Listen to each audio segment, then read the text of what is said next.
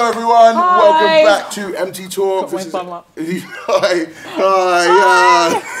yeah. Welcome back to Empty Talk, episode of 18. 18, I think. 18, Yeah, yeah. And as you can tell, it is a different one. It is. Um, we have been sponsored by Birmingham City University. Shout have- out to you guys. Shout out to those people and Rajinder Dudra. He's great. I love him. Woo! Um, we've yeah we've been we've been basically commissioned to have a really kind of cool conversation about diversity Yeah. in Britain and Yeah. how shit it is, um, or not. or not, or not. Yeah, yeah, yeah, yeah. Yeah. Um, yeah. Um, yeah, so we basically have some of our friends here, and um, we just want to have a really, really lovely conversation about yes.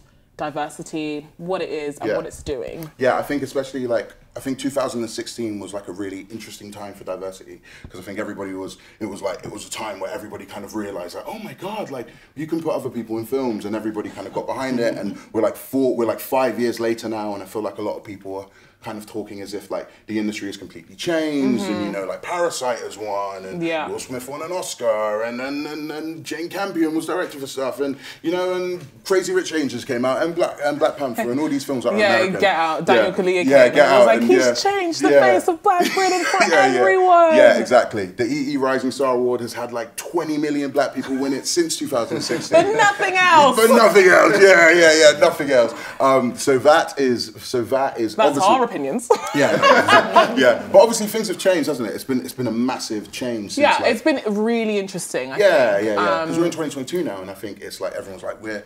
I think especially when you're talking to white kind of like um, production companies, I think I think a lot of people are like, hey, we're. I feel like we're doing something at the moment. So I thought it'd be we thought it'd be great to get people from in the industry. We've got actors, writers, directors, producers, um, everyone, um, and we wanted to just have a really kind of like interesting, honest conversation that Yeah. not just based on our opinions, based on how people that are working in this industry are coming up into it Yeah. and their own opinions of it. So um, Yeah. yeah. So without Further further, ado, let's let's let's, let's get, get into, into this it. motherfucking shit. um, yeah, you guys can swear by the way. That's fine. We don't. yeah, Yes, yeah. yeah. It's now Fucking PG. shit. yeah, yeah, yeah, yeah, yeah. Um, okay, so we have four sections of um, this conversation, and we're just going to go into each conversation and just let it flow. let Yeah, it flow. for real, for real, for real. Okay, so the first question is What is the definition of diversity in British film and TV? And again, we want to specify, we, we want to really talk about Britain and what we're doing here because. Yeah. this is where we are. Yeah. Um, so I think I'm gonna I'm gonna I'm gonna shout it out to, to James. Like, what do you feel like British film and TV is there? What is diversity in British film and TV to you? Um, I think at the moment there's a lot of window dressing. I think that um, diversity at the moment, the way it's being defined, is like what you can see on the outside. And I think for me as a writer, I'm more interested in what's happening behind the scenes. Yeah. And I think that, you know, that tells a very different story when we start looking at diversity in terms of writers, producers, directors, you know, makeup artists, all of those things. Um, and so I'm really interested in in what's happening in that space. Yeah. Yeah. Because that's really where the real power is. Yeah, yeah. Do you feel like do you feel like there's a problem? There's a with di- massive problem. Yeah. Yeah. Do you feel like do you feel like the problem is um do you feel like they're having the window dressing has mm. that changed your pers- do you feel like we're making way do you feel like we're making steps towards something that's different having the window dressing and because before it was mm. all white all round yeah. It was it was four And- no, it was four Noel Clarke films and then and then everything. and then else. everything yeah. else whereas now we have you know the bridgerton extras mm-hmm. Yeah, and then- the Bridgerton extras and Top Boy. yeah and, um, and but Yeah. I guess the, the writers may have not, the writers, the directors, and sometimes even mm. the producers haven't changed so much. Mm-hmm. Um, do you feel like because we now have some people on screen, mm. like diverse people on screen, do you feel like we're making a change, or do you feel like it's it is just like pop them in, we're fine? I think for me it's change on the surface level. Okay. Yeah, and I think it needs to go deeper. Mm. And I think you know you mentioned Top Boy, which I think is a great show, mm. but you know, like I recently found out that the main showrunner for that is a white Irish man. Yeah. Yeah, yeah, yeah. Who's you know in his fifties. Yeah. And I think that brings up another thing about even black stories mm. and who's telling them. Yeah. You know? Yeah. So even like on the outside, what you're seeing is a show that looks very black, but again, when you start going behind the scenes and Yeah. you know who's writing those stories, Yeah. they don't always look like us. Yeah, like Yeah. Kano and, and um, Ashley Walters only became executive producers Exactly. this season. Yeah. That just came out, which is, Yeah. which is strange as it's been out for like. It's and, been we're on the fourth. and I, I wouldn't say I've got a, a massive problem with that, but I, I do wonder. I wonder if that show or that film had been written by the, a black person or the Mm. pe- people that are you know that we're seeing on screen and how different that might have been. Mm. Yeah. Could I, um could I, could you just put your hand up if, if you're a writer if you if you write write write write for film Right.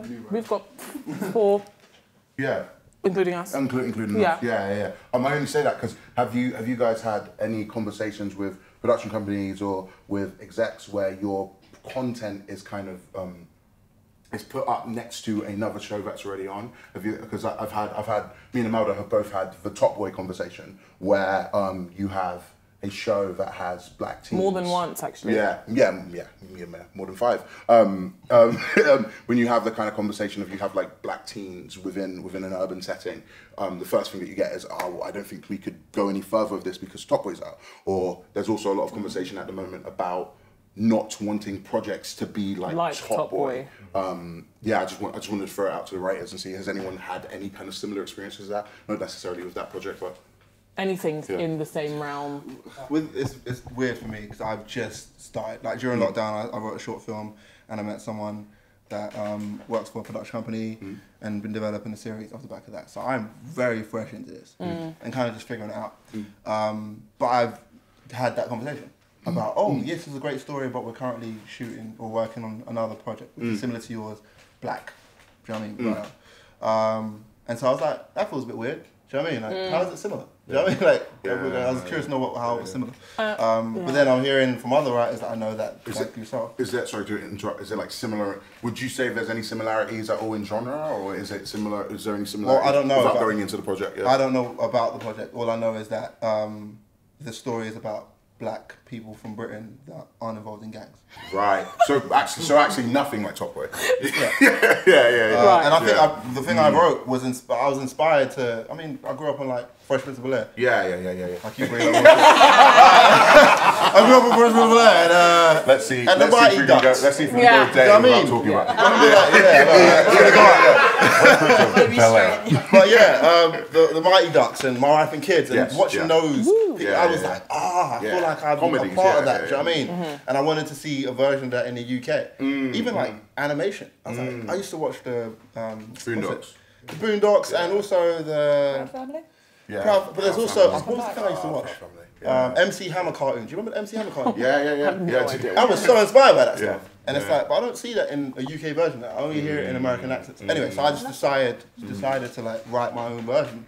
Um, and the second I get in a position where it's like this is getting really promising, it's like, oh well, we can't do your one because there's another black guy. And it's like, oh, you know what I mean? Yeah, Yeah. yeah, yeah, yeah. it's interesting you say that. Let me see. Um, so I wonder, Tom, if when obviously you've written or your experiences with writing, if you feel like you being white has anything to do with, I guess, companies giving you feedback. Do you ever think that, oh, Or you to know, do with rejection, do you mean? to rejection, yeah, or maybe to kind of like a a redirection. I think I think I've had a lot of like, oh, maybe try and do it like this, so it's not so similar to X, but it's actually not similar to X at all. It's very different. Um, so I wonder if you ever feel as though, as a white writer, you know, this is something that Yeah. could be a, a obstacle, or this is something that I have to think about.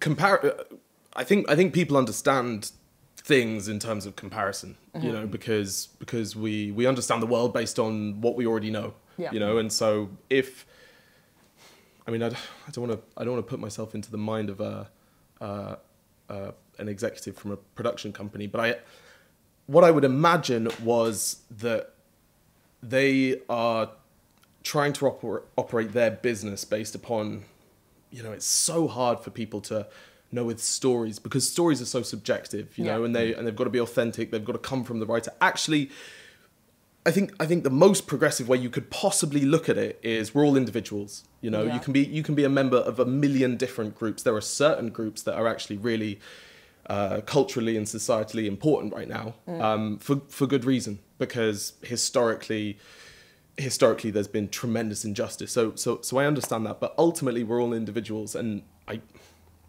I I- just think it's I think to suggest that you know your experience of the world is the same as Michael's experience of the world Yeah. um, due to pigmentation. I don't think that makes sense. But there will be there will be huge cultural overlaps which should be enjoyed and should be celebrated. My stories are not the same as Boris Johnson's stories ultimately, but we share the same pigment. You know, so so that's one thing. I think that when you give a script to an executive, they're trying to understand that script because they want to um, forge a good idea about whether they're going to be able to sell that, whether they're going to be able to monetize it and keep working as an ent- entity. Yeah. I've had a million people tell. That's obviously an exaggeration. I've had about ten people tell me that um, my script is similar to something else. I, I haven't looked at them with a critical lens to think, you know, what's the motivation behind this. But but I'm I'm I'm trying to ingest that feedback because maybe I think maybe I wrote a comedy and I didn't intend for it to be like The Office, but maybe that's what they're reading into it, um, and maybe they're coming at it with their with their certain lens. Um, I do, I do think if if your question is, do I ever think that um, due to what should be an arbitrary factor, I've faced rejection. I think Mike made a really good point about uh, people with my pigmentation until 2016. Uh, maybe that wasn't the case, but you know, you can call it progress, you can call it improvement, you can call it whatever you want to call it, positive discrimination. I think uh, as a society, we're feeling the pendulum shift. I feel like 10 years ago, if I'd, I mean, I wasn't working back then, but I think if I'd submitted a script to a public body like the BFI, uh, I think I would have been blindly naive to think that uh, the merit alone of the script would determine its success or failure. But the world is very political, and that's not necessarily how I think these institutions operate. Um, and so, you know, I know, I know people um, who have stopped submitting to these public bodies because the public bodies are very open about the fact that they're looking for different stories now, and you know whether whether that's a good thing or a bad thing. That's the point of conversations like these, you Yeah. know, I- and like, I- Yeah, do you know what I mean? Going, going off that, going off that, um, do we think it's a good idea or a bad idea to um, to for the BFI and for the BBC and for Channel Four and for a lot of these production companies to be like, okay, we're going to focus on specific, specifically trying to build more BAME stories, more LGBTQ plus um, stories. We're gonna we're gonna try and do more stories that are out of out of the norm of I guess what we've been what we've been given for the for the last hundred years. How, how do we feel about that? Do we feel like that is a positive or negative? Looks like you go. Yeah, I just want to reset something very quickly. Um, race isn't about pigmentation, it's literally about race. Race is a construct that was put into place for the very reason of oppression. So it didn't happen by the by, it, it's strategized and it's been strategized over centuries because there are people who are of white skin who are not invited into whiteness. Um, so only recently have, for instance, you know, in recent decades, Irish people being invited into whiteness, Eastern European people being invited into whiteness, but they have white skin, but they were not allowed the benefits of whiteness.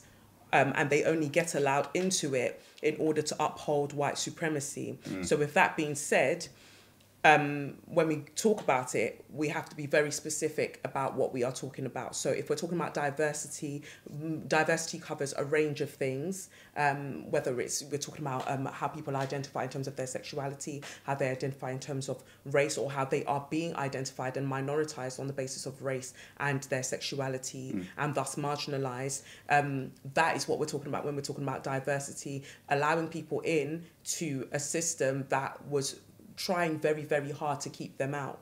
And it's only due to profit that people are now being allowed in because this structure needs to keep its relevance and it wants to keep its money. So um, if you have certain places, for instance, like the BFI, that they're currently saying, okay, well, we want to see stories from other marginalized groups. Yes, it's frustrating for somebody who, um, or for, for a group of people who may have reaped certain benefits, even if it's like I haven't reaped it. People, the other people reaped it because I'm only just starting my career now. Hmm. that's frustrating. But the likelihood that there will be other institutions that are likely to give you money is possible. Hmm. Um, whereas those groups that they're asking to submit, the likelihood of them getting money from other bodies hmm. is nigh on impossible.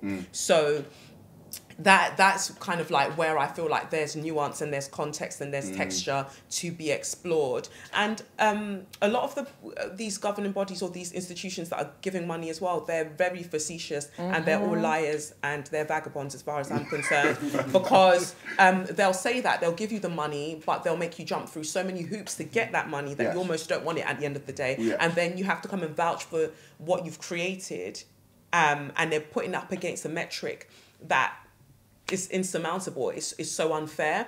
So, you know, it goes beyond the grants. It goes beyond who gets the grants um, because there's so much more, you know, that to me that's happening. But the first thing that I think that needs to be there as a foundational framework within the discussion is the fact that race goes beyond skin color. It is literally um, a structure that was put in place for this very reason. So, okay, in 2016, we started seeing more black skinned people um, or, you know, people of different races, ethnicities participating in, you know, what we consume. However, have the stories adapted around them? No. The stories have remained the same. The narratives have res- have remained the same. We're still forcing the same stereotypes, but we've just allowed these people to be on screen. Who gets to be the director of photography? Probably not a black person. Who gets to be a producer? Probably not a black person. So the people still holding the purse strings still remain predominantly white, but they're just allowing, um, as we were talking about earlier, um, window dressing. You just get to kind of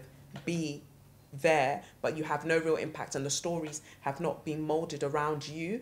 Behind her eyes, I thought was atrocious because the she, the protagonist is black, but mm. she doesn't have any black friends, mm. and she just keeps falling into these situations. And there was no reference uh, to her wig. You know, Yeah, like so, yeah, so yeah, many yeah, things yeah. were happening in that situation that I thought was wild. But we're meant to celebrate that. Oh, this is a Netflix series, mm. and this gorgeous actress talented actress got this role, but nothing around that role But- was was made space for her. Do you not do you not feel sometimes though that I, I, I share the same sentiment and I feel I feel a- I feel a lot of the time whenever I am critiquing um, particular um, stories that are made that, that are that are diverse, um, I feel like I'm I'm I feel like I have quite a high bar and I feel like a lot of the time. A lot of the stuff that we are making, like behind our eyes, we can get through the first. We can get through the first episode. I can get through the there's a, there's, a, there's a lot of stuff, but then I feel as though when I do that, the community almost looks back at you. Um, this is if you identify within a community, Mm-hmm, the community looks back at you and goes, "Hey, well, this is what we got. We need to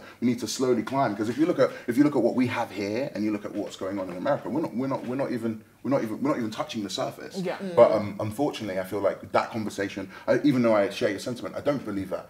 Many people actually believe that because I think most people are very happy because we are basing themselves. Sorry, one more mm-hmm. point. We are basing themselves in this individual mindset. Where I feel like a lot of people are kind of like, well, I'm making minds, and I'm gonna I'm gonna continue to make because I don't necessarily think that pro- projects can be considered diverse just because you put Daniel Kaluuya in it. Exactly. Because what that is saying is that Daniel Kaluuya is a is diverse. It's and Daniel Kaluuya has money. He's got clout. He's got something that people that people have already seen. He's got Get Out behind him. Do you understand what I'm saying? Before Get Out, that was five years of him just doing Black Mirror and nothing. Since Get Out, everything has everything has gone. But I feel like you can't put that on people like us that are coming up and working on projects because I don't feel like we we are we are in the. Um, my point is flaming, but yeah, yeah. Um, I, I think it's really interesting to sort of, um, and this sort of goes on to my next question, but to figure out, again, I'm all for diversity of story because I think that that is really, really important. And story, as a writer, I believe in writing stories that come from the gut of my soul, right? And I believe that in in my perfect world, everybody would have an equal playing field of being able to tell their story, Yes. their their um, their experiences, how unique it is, what how it's it's affected them in a really unique way, and I I I. I, I almost know the answer to my question anyway, but I, I guess I'm going to ask like, Great, pose it out. can you? Is it possible to represent all groups of people? But you're not trying to. I think that that's only put on marginalised communities. Is my point Mm. because behind her eyes, as I because we're talking about Black British. Mm. How is it possible that she lives in London, does all of those things, and has not? She did not. see- She didn't even. She didn't even have a black neighbour. That they, they just said, you know what? We've met our diversity quota. Boom, black done, Mm. and that was what was worrying. We should not have the pressure of having to represent entire communities. I should be allowed to make a horrendous project, like absolute shit, Mm. Yeah. and and for people to be like, Kelechi made a shit project. Yeah. Mm. Wow, that was horrible. As opposed to, you know what? Kelechi made a shit project. All you blacks get out. Like, and that's and Yeah. that's and that's the But fear. I Yeah, but almost, that's what I'm, I feel like the I'm- industry is. But I'm Yeah. almost posing it not even to black British people. I feel like Sure. to to the production companies, to Yeah. the people at the top. Like what what exactly is it that they want? Like, Mm. can you represent? Because the notion is black doesn't sell. That Mm. was the notion for a very long time. We can't have this because we don't know if our, Mm. you had that. Our audience, mm, they're not really gonna like Yes. this, you Yeah, know. yeah, yeah. And what that means is, you know, the white people in Middle England watching this, they're not gonna understand what you're saying, sir. Will and someone, will, will Jack in Middlesbrough be able to connect with um, with a black with a black based story? Is a quote that I have from an email. Um, Yeah. um, yeah, yeah. Basically, like, um, is is it palatable to a white audience? Yeah. Um, but um, I'm gonna I'm gonna throw, I'm gonna throw that to Emily um, because I do I do believe that we are in a space where I think we are in a space within within within our community within our industry where people are like diversity is diversity is kind of the poster that you see where it's like you have a black person, you have a Chinese person, you have an Asian person, you have someone that's disabled, somebody that's somebody that, that, that um some some type of se- sexual orientation. It's like here is our poster. Can we? Re- do you believe that that is a that is that is a goal? Is that something that we should be pushing towards, trying to represent everybody in an equal light? Well, the thing that came to mind immediately when you brought that up was "It's a Sin," Mm. which is obviously about the, you know the the story that's telling is about young gay men in the eighties and the uh, AIDS pandemic. Yeah. Um, but I remember watching it and like the vast majority of my friends are queer, Yeah. and throughout the whole community. you know. And we were watching it, and I had one of my friends who's a gay man say, I loved it. I thought it was great. I, I loved that it represented the story that it was telling. I love that we got different aspects of community. You know, yes, the uh, lead was a white man, but we had, um, you know, the young story of uh, the young black guy who Yes. was involved with a politician. Yeah. Um, they had an older guy who was friends with them, which is a big thing. And they were like, oh, it's great. Actually, we're getting a really diverse community. And then I had another friend turn and go, I think they've just ticked off every box. yeah. They've gone, hmm, what are the five archetypes of gay? Lovely, we'll have each and every one. Thank you so much. And guess what? The lead's still a white man. Yeah. And and that's not to take away from that story, Yeah. the importance of that story. Yeah. Um, but it doesn't, you know, and I can't, you know, I'm very with, I'm part of the community, but I'm not a gay man. Yeah. Yeah. So that's not my story. That's not for me. Yeah. I can relate to aspects of it, but also as a woman, I'm sitting there going, the only fucking woman in this is his mum, or the friend who apparently lives to serve, Yeah. who Yeah. was a black woman Yeah. as well, which I Yeah. was there watching it going, why is the only fucking female in this got no personality other than to. But that's my. I understand that I'm watching it from a very different perspective. Yeah. Of course. Um, and I'm kind of going, this is not my story to comment on, on the mm. AIDS crisis story. But if there was something like that for me, I'd rather go, I'd rather actually you hone in, do it well, rather mm. than just try and appease. Every, and everybody, you know, really acclaimed It's a Sin. They were like, it's so wonderful, it's so incredible. To be honest with you, I, I like uh, Russell Davies as a writer, mm. but I was there like, I thought it was kind of boring in places. And I go, just because it's sad doesn't mean it's like wonderful and fantastic. Yeah. Yeah. Yeah, and it's uh, but you can't really say it because people go like, "Oh my god, you don't think the AIDS crisis?" and go, "That's Yeah, not what yeah, I'm saying." Yeah, yeah, yeah. Yeah, I think. I think that's something that I think I fall into a lot. I I tend to have unpopular opinions, and I feel like when people in any community kind of band together and say this is you know uh, what we like, and then you're even whether you're in the community or not going. I don't think that that's right. Yeah. I think you get a lot of like, what? Yeah. How dare you? Yeah, and, and, and and I think you know I feel like that about Top Boy quite a lot, Mm. um, because. So this it. is the thing that's difficult because we had we had a massive back and forth about it. what constitutes a black British boy, and we were get, we were getting heated, right? yeah, yeah. And I just my, my, my viewpoint is I don't believe that you can fully call Top Boy a black British project if it has been cultivated and created by a white Irish man But- and just put Kano and, and everyone else because I think what it is is, is exactly is exactly what you're saying. It looks amazing at the front, and I and I don't I don't want to like completely bash the project because I like it and I watch it and I do enjoy it and I enjoy the storylines. But um and I know that there are some schemes that they're doing in there. I know they're doing like shadowing schemes. So like you um you, you follow a director in your first season, then you get to direct an episode in your second season. I think all of that stuff is great. Um and I don't know necessarily how earnest it is, but I think it sounds great. But overall. I don't know if you, I don't know if you if you if just because just because like I don't know Will Smith and and um, Martin Lawrence are in or in Bad Boys doesn't mean that it's a black film. Do you know what I mean? Because it was written by um what's his name by Transformer guy, My, my, um Michael Michael Bay. yeah Michael Bay. Thank you. Yes, yeah. Does it, do you know what I mean? Does it count? Do you know what I mean? Um, so yeah, I yeah, mean, that was my that was my viewpoint. The thing is, I, I, I just want to sort of. It's hard, and, and we didn't even come to a conclusion in, the end of the argument, yeah. but it was like. I'm in two minds again, going, okay, do we celebrate those who now have roles? Do we Mm. celebrate the opportunities that are being brought up? Or do we say, this is still written because I get Mm. the argument where it's like this is still written by a white man. This is a story cult. This is not our voice. This is someone else saying, yeah, okay, that works. That's them. Mm. Yeah. you know what I mean. And, And, also, and also, like with the script, with this, um, so yeah, he writes, the, he, he writes the script. Um, so he writes the script, and there is a um, he he writes the script. He gives them to the he gives them to the cast, and everybody fills it with slang. And um, every, and it's like, okay, no, we wouldn't say this, we'll say that. Oh, we wouldn't say this, say that. One of the biggest criticism this season has got was the slang was forcing it. There was so much, there was so much everywhere because I don't think that you can just trust actors to be like, oh, okay, here you go. Here's my here's my thing. Just fill it with everything that you can because then it sounds like we're in London. And I don't I don't think I don't think that that's earnest. I think that's just kind of like put your black stuff on it and then and then um and then everybody will love where's it. Yeah, the, do you know what I where's mean? the black paintbrush? Yeah, here we go. There it is. Oh, it's wonderful now. It's perfect. Yeah, yeah, yeah. Yeah, I just I think as well. I think there are there are some TV shows I think that are doing it right. okay. I mean, you can take to sex, sex education, for Yeah. instance, great, which great was example. created by Laurie Nunn, Mm-hmm. a white woman from Australia. Mm. And what they did in the second season is they started bringing a lot more writers Yeah. from different backgrounds. I've seen that writers room. Yeah. You know, Seen the and like room. Writers' with the room looked latest season, like my favorite episode was the one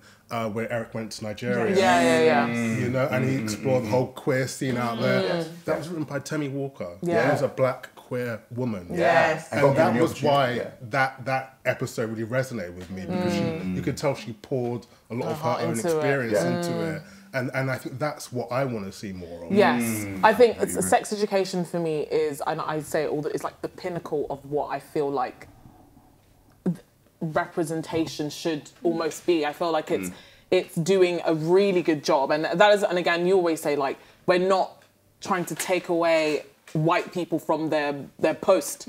We're just trying to be like, hey. You know, we exist. There are there are great stories. You know, there are great nuances, and there are all these different things that we can actually chime into and deserve to be sort of on a platform. I believe. You know what I mean? Because we are practitioners. But We are then creators. also, sex education is based in a school, Mm. and a school is where you can see the most diverse groups of people that Yeah. come from everywhere. You can have someone like you, depending on where it is. Mm. But um, I think that in the certain school that they have, it is an opportunity to go. Let's let's put everybody in this, Mm. and I think that that's a great example. I, I actually, I actually, But, but just about to burst your bubble there. Mm. Um, so, um, what are the two characters? We've got Eric and then the other black guy. Oh, Kedar. Jack Sporty guy. Yeah, Kedar, yeah, Jackson. Kedar Jackson. Williamson. Yeah, Yeah. Jackson. Yeah, So, so his name. Jackson and Eric. Yeah. Why did Jackson have contact lenses?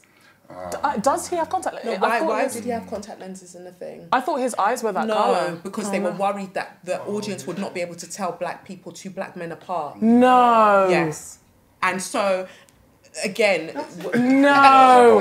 That can't be right. Wow. At the bush, he killed Keto. yeah, yeah, yeah, Amazing. man, it's What's the amazing. play called again? Um, something pitch. red pitch. Red, Red pitch. Pitch. Amazing play. I don't know if it's still Oh, no. going, but I remember seeing that play and be like, oh, you're from. Why are your eyes different? And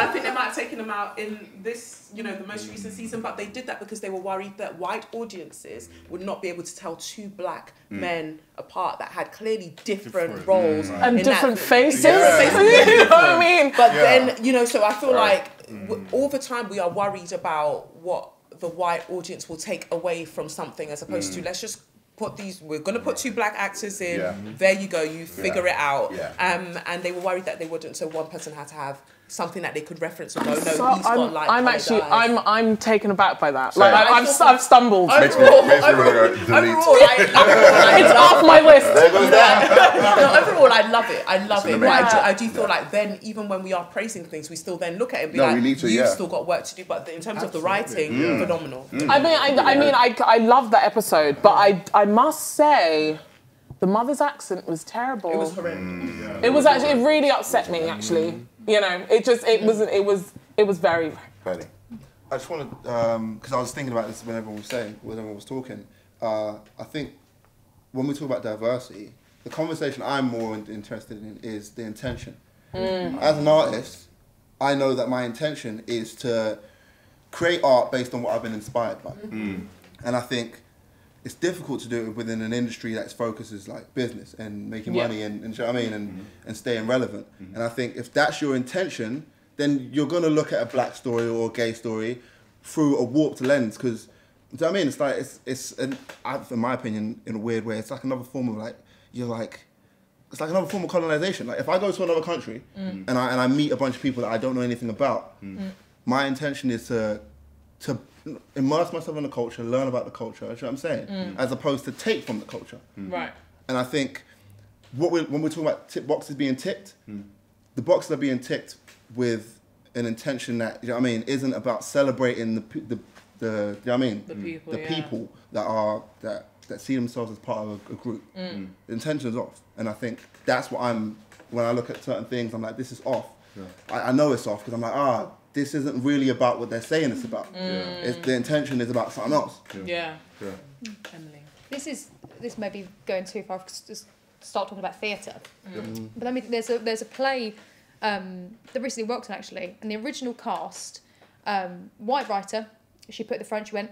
It, um, it's set in 1759 Norfolk, and in the beginning of the play, she says the cast should not look like 1759 Norfolk. It should be diverse. Now, it's not a black story by any stretch of the imagination, at all. And the way it was, it was originally on at the National, and it had a, I believe, a white male director. And obviously, we know all know who the artistic director at the National is as well. Mm-hmm. And and I look at something like that and I go, has she done that to tick a box? Mm. Very possibly. And so again at the National. Now, in this particular script, it's about it's about it's oh, it's a story about women. Mm. And I go, now if you had a black director and a black um, producer and a cast that was predominantly black, could it be a black story? I don't know. I'm not the person to answer that. Um, but there was, we when we got the plays that we were doing, one of the guys in our year, who's black, didn't read the script. We were all told we had to read all of them, and he didn't read it because he went, "I'm not going to be casting it." And he wasn't, to be fair. Yeah. He wasn't casting it. Yeah. But then, you know, he's had that assumption because he's gone, it's a period piece. Ah, and absolutely, I'm not going to be. Now, the cast at the National was, I'm going to say, quite diverse, quite diverse for theatre. Hmm. You know, that's that's Yeah. that's said. Any the cast should be representative of all of one. You know, what I mean, as opposed to like something like Barbershop Chronicles, Yeah. Mm. which was a cast of entirely black men. Yeah. Um, so, you know, we go, oh, that's lovely. And I, you know, I love Yeah. this play. I think it's, in terms of the writing, it's, the writing's wonderful. Yeah. But then I, I've always had a kind of a weird feeling when I cracked open the play. and she went, Yeah. it can be anyone. I'm going, okay, but that's so, that kind of feels like then you're putting the responsibility on everybody else to go, they're like, I've done this, and now if you don't make it diverse, Yeah.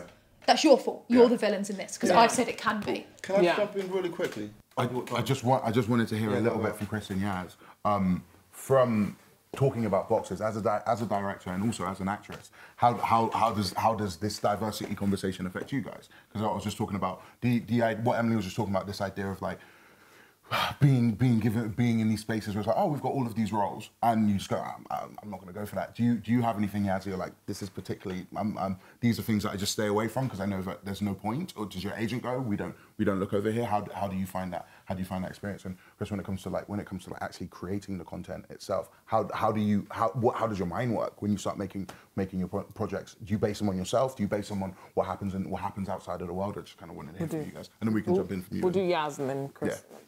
Um, yeah, I think whenever I do a project and I get sent a diversity email, I just delete it straight away.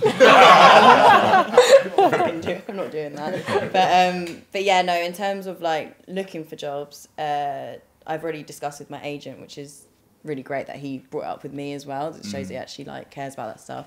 Um, but yeah, he'll. I, I, we always have a discussion being like when you get the roles obviously they say what kind of person they want um, and it will say either like mixed race or any appearance. I've mm. discussed this with you guys before. Yeah. and i always think whenever they say any appearance it always means that they're open it they're opening it to any appearance but mm. they will always default to a white person mm. usually like if it's like a main character or something. And then like something that's like the lesser character or the friend will be like they'll like randomly be like indian girl but then there'll be nothing about yeah, but yeah, but then there'll be nothing about her being Indian or her culture in the actual story when you read it. It will just be like, and you're just like, well, why the why the fuck is that there? You could just have any appearance for e- all of it, and then see where it goes with the actors Yeah. that you find. Yeah. Um, so yeah, that's always, and it is a it's a thing again. What we were talking about with writing as well, like um, when you do start to get paranoid, you're just like, okay, um, is it just because they didn't want me, or is it just because I'm not white, or or if I don't fit Yeah. into that, and like it's obviously different because I'm lighter skinned, but then also you do have the kind of thing where like you can fit into different types of ethnicity Right. Yeah. um, which can obviously be a blessing in a lot of ways, Yeah. but then obviously you're not white enough, you're not dark enough to play that role or whatever. So it does Yeah. kind of like that's when diversity kind of I, the word really grates on me Yeah. as well. Yeah. Yeah. Yeah. Yeah. and yeah, um, yeah, and I get it, and like what what everyone was saying before about like I, I kind of see it in the same way as like activism when it comes to like talking about how to deal with the this industry. It's like do you go you have two types of activism. You have activism where you kind of play play within the system mm-hmm. and you try and make it better and you try and work your way up or you have activism where you can go really radical and you want to break down the whole system and just start again mm. and i get i get that in terms of like you know people who are just like you work with white directors and white producers mm. or you just kind of like fuck that and be like i only want to work with the people i want to work with mm. with the projects i want to make mm. rather than having to cater to that white audience having to cater to that but it's obviously that's so much easier said than done because it's like when you're a nobody it's like what you were saying when you're a big star and you've made it you can be like fuck this and like Yeah, yeah, yeah, i'm yeah. doing this whatever but then when you're a nobody you just won't get the chance to be in Yeah, that 'cause we don't have the money. And you and you remain a num- nobody for the majority of your Yeah, career. exactly, because you get- because you climb, you climb, you climb, you climb, and then you become. I'm gonna say is it Will Smith, and or you become, or you become like Zoe Kravitz. somebody wants to be Will Smith. really bad. No, I'm joking. Um, um, yeah, no, no. Genuinely, um, it, it does. It is like a thing where it's like it's the latter half of your career. It's like now that even um, it's now that you kind of see that like oh Kevin Hart can produce movies and, and all Yeah. this kind of stuff. And Tyler Perry has just bought a lot, even though we were watching color, we were watching um, Why don't I get for married? Color Girls back in the day. Do you know what I mean? Like that was that was it. But um, Yeah. yes, Something that uh, has been said where like when you see the role could be open to anyone, but you know that they have a white prefix in mind. I thought that was interesting because when I was casting for my film, I said any, and I genuinely meant any. Like I was judging purely the performance and the quality of the acting. So I think that was like quite. I've never like considered that uh, perspective before. can I can I ask a quick question? Go for it. Um, who were the main? Ca- Who were your main cast members? What are their ethnicities? Oh, uh, Filipino uh, female. Her name's Julia Sobier. Mhm. Uh, she's actually running for Miss Philippines Oh, 20, God. Okay, 22. Oh, yeah, that's the year we're Good in. luck to her, man. Uh, and yeah, uh, and yeah, I think. I mean, I don't think there were many white people in the yeah, in the film. There, there was one where the, the teacher, yeah. Uh, but that's because the previous actor fell out. I shouldn't say this. Pete, That's all Pete, you're my first choice. Yeah. yeah, yeah, yeah. That's ooh, yeah. Uh, actually, it was Pete who, who put me onto the show as well. So Oh, Oh, no. shout out to Pete, man. Shout out Yeah. to Pete wherever you are, bro. uh, yeah, uh, what was the question again? Sorry. Just your your your experience as a as a as a director. So obviously, writing the script, directing the script, and I know that you I know that you've gotten to the point where you have your you have a feature film, and you're now going through the indie route, which is already ho- horrendous for whoever wants to go through. Like compared to compared to being backed by a studio, how how has has diversity affected you in any way? Have you found more freedom that the fact that it's been that you've been working in in, in an indie space, or I, I'm just quite I think there, there's a lot more freedom working within the indie space, and I, I my uh, my two cents would be like if you're truly and genuinely passionate about the story, like just make it in terms of you don't have to have 30k to make a short film. Mm. You just need to find someone with a camera and find opportunities that arise. Uh, and I think from that point onwards, and this is my optimistic thinking, the merits of the work itself will carry you forward. Uh, obviously, that a- as we established, it's not always the, the case. There's a lot of politics that goes behind. I think, uh, oh, I forgot, I'm sorry, Ben, uh, what you were saying with like how producers look at stories through a completely different lens from how we look at things. They look at it for the money. Mon- money is all they care about. Film is completely a business, and especially when you take it within the context of British, within the British film industry, which is, you know, a complete shell and husk of what, what it once was. It, the British film industry doesn't actually exist as, as far as I feel. It's been bought out by American uh, companies in the 60s. Uh, Britain had the opportunity to be become the Hollywood of, of the world, and uh, the owners of Odeon Cinema and all of these cinemas sold the rights to American companies and to Hollywood, and who owns the cinemas gets to depict what films play, and that's a big thing. And like the money is is really like Is the key. is the key to it. Like if Yeah. and I, I think if we were to take it, if we were to focus on like black stories and black casting per se, uh, it's a well known fact. I can't remember the statistic. I want to say sixty percent of like uh, casting goes towards like films that are about slavery or civil rights, mm-hmm. and in Britain it'd be more towards gangs and you know the top boy sort of mm-hmm. genres. Yeah. And I think that's like I think that's crazy. Like that that like sort of pigeonhole mm. of of uh, casting. I think. Yeah, I think what you were saying earlier with diverse stories is the key, and Yeah. I, I, I stand by that. I think getting really diverse stories, where the, where the like the ethnic Peter Greenaway films, where the, the ethnic Bergman films, they're not founded yet, and and that is something that I'm really looking for Yeah. uh, Yeah. from going on to the future. Yeah. That's that's a very interesting point because um, I I don't believe that my projects are diverse. I, I, I hate it, hate it, completely hate it. I hate everything that it stands for because what it that what it creates is this space as a black writer and director. Um, what it what it creates is it creates a pigeonhole on every single character that I ever make, a pigeonhole on any narrative that I ever want to make, and what I get taught. What what you do is you kind of you have these conversations with people and they go, oh man, this this is this is so this is so diverse and it's so amazing, and I'm, I'm going, well, are you just kind of looking at like, are you kind of counting the names and going, okay, cool. Um, Oh, childhood trauma. Oh yeah, that, that's something that's been on the internet. Oh okay. Um. Oh, colorism. Yes, that's, That's something that's on been on the yeah, Instagram. that's on Instagram. Yeah, and we put it all together, and I and like I, I mean I mean I became a writer and director because I wanted to be a writer and director. Do you understand what I'm saying? And I wanted to write based on who I am, which is Michael, and I wanted to and I write for my community, and I and every person in the in the lead of my projects that I've been writing are all black people. Do you know what I, I find? people. s- Sorry, I'm- I find that interesting, um, and I agree. Hmm. It's just I feel I don't. I got to that point where I was sort of like I don't even feel like I'm writing for my community Ah. anymore because again we have that conversation of being rejected by your own community and stuff like that. Hmm. But I, I I write stories based on my perspective and Yeah. my own experiences, and I go if every single person here was to write a script it would be a complete different script, even though there are how many black people, how many women, how many men. Do you know what I mean? It's there will be different stories, and I feel like again the equal playing field. The thing is the thing uh, is what I'm sort of harping on about because I feel like if everyone has the opportunity to write something good and get it, but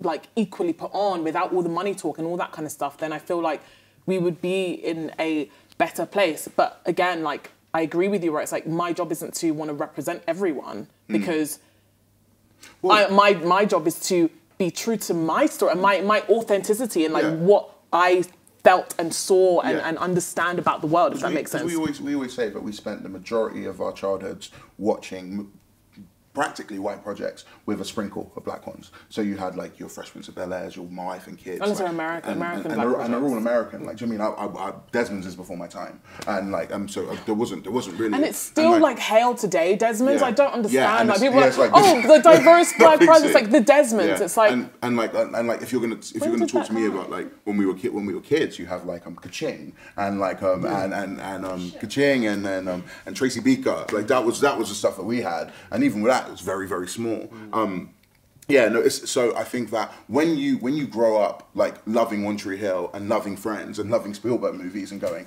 I want to do that as Michael. You your brain if if we if outside of a system of oppression, your brain goes, man, I'm gonna I'm gonna go and do this. But as soon as you step into it and you start going, hey, um, I've written a I've written a I've written a horror or I've written a science fiction. People go, oh well, how's this gonna work within our standards? And this is bringing us to the question that I want to ask is. I personally believe that our that our that our industry is rooted in racism and white supremacy, um, and um, I just wanted to see if you agree, if you don't agree. I believe I believe that the reason why we aren't going anywhere is because I believe that we are the country that we live in is founded on white supremacist ideals, and I don't think that we're ever going to go further in a way that we're going to see something that's actually going to be like um, the diversity and the utopia that we all that we all want is because there's always going to be somebody that's going to be at the top going, we need to keep this system of oppression here so that I can keep my wealth, I can keep my status, and I can keep pushing out the same old shit. Um, I wanted to open that up to the room. Uh, that's my bag. Uh, racism and white supremacy, my favourite subject. Me too. Um, it's gorgeous. It's gorgeous. Uh, Britain wouldn't be great without it. Like that's Right. that's what the great is for Britain, and that's why. Um, Listening to everyone talking, I thought the main thing I kept hearing was power. People weren't using the term. Someone would say politics, or someone would say money, or someone would say something else. But what we're talking about is power. And when you um, do not have the power to tell your own stories, that is part of um, the violence. Yep. Um, when you are told that it's okay for um, a white Irishman to just say, "Oh, I want some jerk chicken," but the guys are meant to be Nigerian. It, you know, like there's certain things that just get lost. Um, but it's he can tell the story, he can get the funding because he, he has that power, and they will keep giving him that power, and people like him. And so I, there's so many things that are happening there, and of course, yeah, it won't change because a supremacist structure, regardless of whether we're talking about a white supremacist structure or otherwise, doesn't willingly give over power. And so um, earlier it was mentioned like, do we go in terms of activism? Do we go the subversive route, enter the institution and try to change it from within, or do we go the radical, quote unquote, radical route and then dismantle the whole thing and put something new in its place? Mm. I think that when we commit ourselves to false binaries, we don't go anywhere. I don't think that we have to, we could be doing both at the same time mm. because the danger of only waiting for a subversive way of doing things like, guys, I'm going to enter into there, I'm going to change it and I'm going to come back. for you." Yeah. Yeah, yeah, yeah, yeah, yeah. And that's what They we don't come back. because everybody's in America. Oh, you said you were coming back. You said you were coming back for me. What, uh-huh. what's happened? Yeah, yeah. Oh yeah, just there's a lot of politics here, but I'll let you know. Yeah. Um, and so you, you, Yeah, yeah. We bringing the boat. Don't worry. We bringing it. and, and and so you get you get gatekeepers who look like you. Oh, but God. they Oh, have, ouch. but they've internalized. They've internalized a lot of the narratives as to why you mm-hmm. cannot join them with a seat at the table. Mm. So Because when they we- are a part of the exactly, table. because Yeah. now, now they're a part of the table, even though they're eating a crumb and they've only got three legs on their chair. They. I will be wobbly and they will stay there. Um, So it makes life very, very difficult for you because you're you then have to basically ask yourself like, what am I going in there to do? What do I? What do we want from these spaces? Do we want fame? Do we want acclaim? Or do we want to make good work? Because if we want to make good work, it's not necessary that we are actually in there. Um, but if we want fame and acclaim, then yeah, that's get where in that's where that's Yeah. where you've got to be. But um, also we have to be honest with ourselves when we go like I don't want to represent my community. I want to make stories for me. Have we done enough rigorous self interrogation to know that the stories that we are in fact making are not also caricatures and they're not also laden with internalized um, anti blackness or internalized Yeah. um, oppressive dynamics that we've taken in and absorbed because it's a trauma response from existing in this society, whether it's about misogyny or whether it's about race or whether it's about racialized misogyny. Um, um, you know, a bigotry across the board, we have to ask ourselves those questions because I don't think we're asking enough. So somebody gets a budget, finally, they make something and you're like, what the fuck? Yeah. And they'll turn around and go, but I made it for me. I wasn't thinking about you. Yeah. But you are impacting me by Yeah. what you have made because I am a, re- I'm going to be seen as the reflection of that. I but agree. what I think that Michaela Coel, for instance, what I think that she did do well was um, to not go with Netflix, do that whole partnership thing with the BBC and Yeah. whoever else she was working with in America. Do that, and again, see, she had to get an American um, company to help her as well Yeah. because otherwise the thing wouldn't it wouldn't have slapped the way that it did. Mm. Um, and so they let her do that, but then somebody wrote a review on it, and I remember during 2020 and they was it 2021, and they said something like.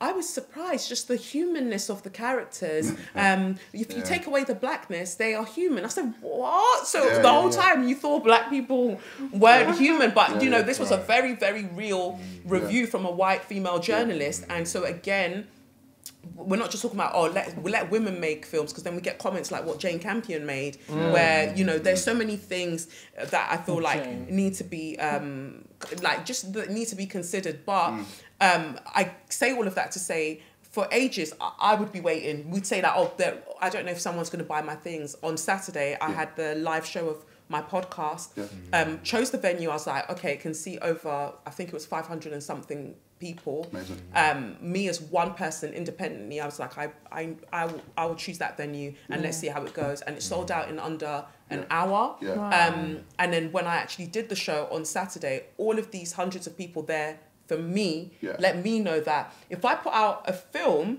no matter how small, I, I know that You'd have 500 people, 500 500 people. people are going to watch it. Yeah. You know, That's and good. and those were only the people that happened to be online in time to buy the ticket for the show. So I say that because I know that we all have people Mm. and so be honest with yourself do you want the fame and acclaim or do you just want to make good things because if you want to Yeah. make good things You you don't have have to wait Yeah. and and we can work laterally Mm-hmm. and figure things out skill swap all of that stuff and you you you really have to go for it Mm-hmm. but um because oftentimes going with the fame and acclaim you are whether you want to admit it or not going to end up being complicit in upholding white supremacy Of course, of course, yeah, of course, Yeah. of course. Um, I amazing, think- I think- I, I, I wanted to. I, ha- I saw I saw Yaz moving. I saw Tom moving. I just wanted to get some add some more onto it. No, mine was just a really short point and I've kind of forgotten it. But um, yeah, yeah. no, just exactly what you were saying. I completely agree. And also, it was interesting hearing you talk about like diversity as well, because you're right, exactly about gatekeepers. It's like, is isn't diversity just a word that, like white cis, like straight people have used to then be like, oh, actually, shit, we need to. Yeah. Well, for whatever reason it is, power, Yeah. money, they they're just like, okay, we're now allowing other people in. Yeah. So it annoys me as well that this word is still being used and like you're panicking about it being like you're wondering about your own work, but Yeah. really it's not something that should be put on you. Yeah. And it's actually just something that's come about. Like last, 10 years ago, that would have been a, a woke thing to say or whatever, but now it's just something that you hear and it's just, Yeah.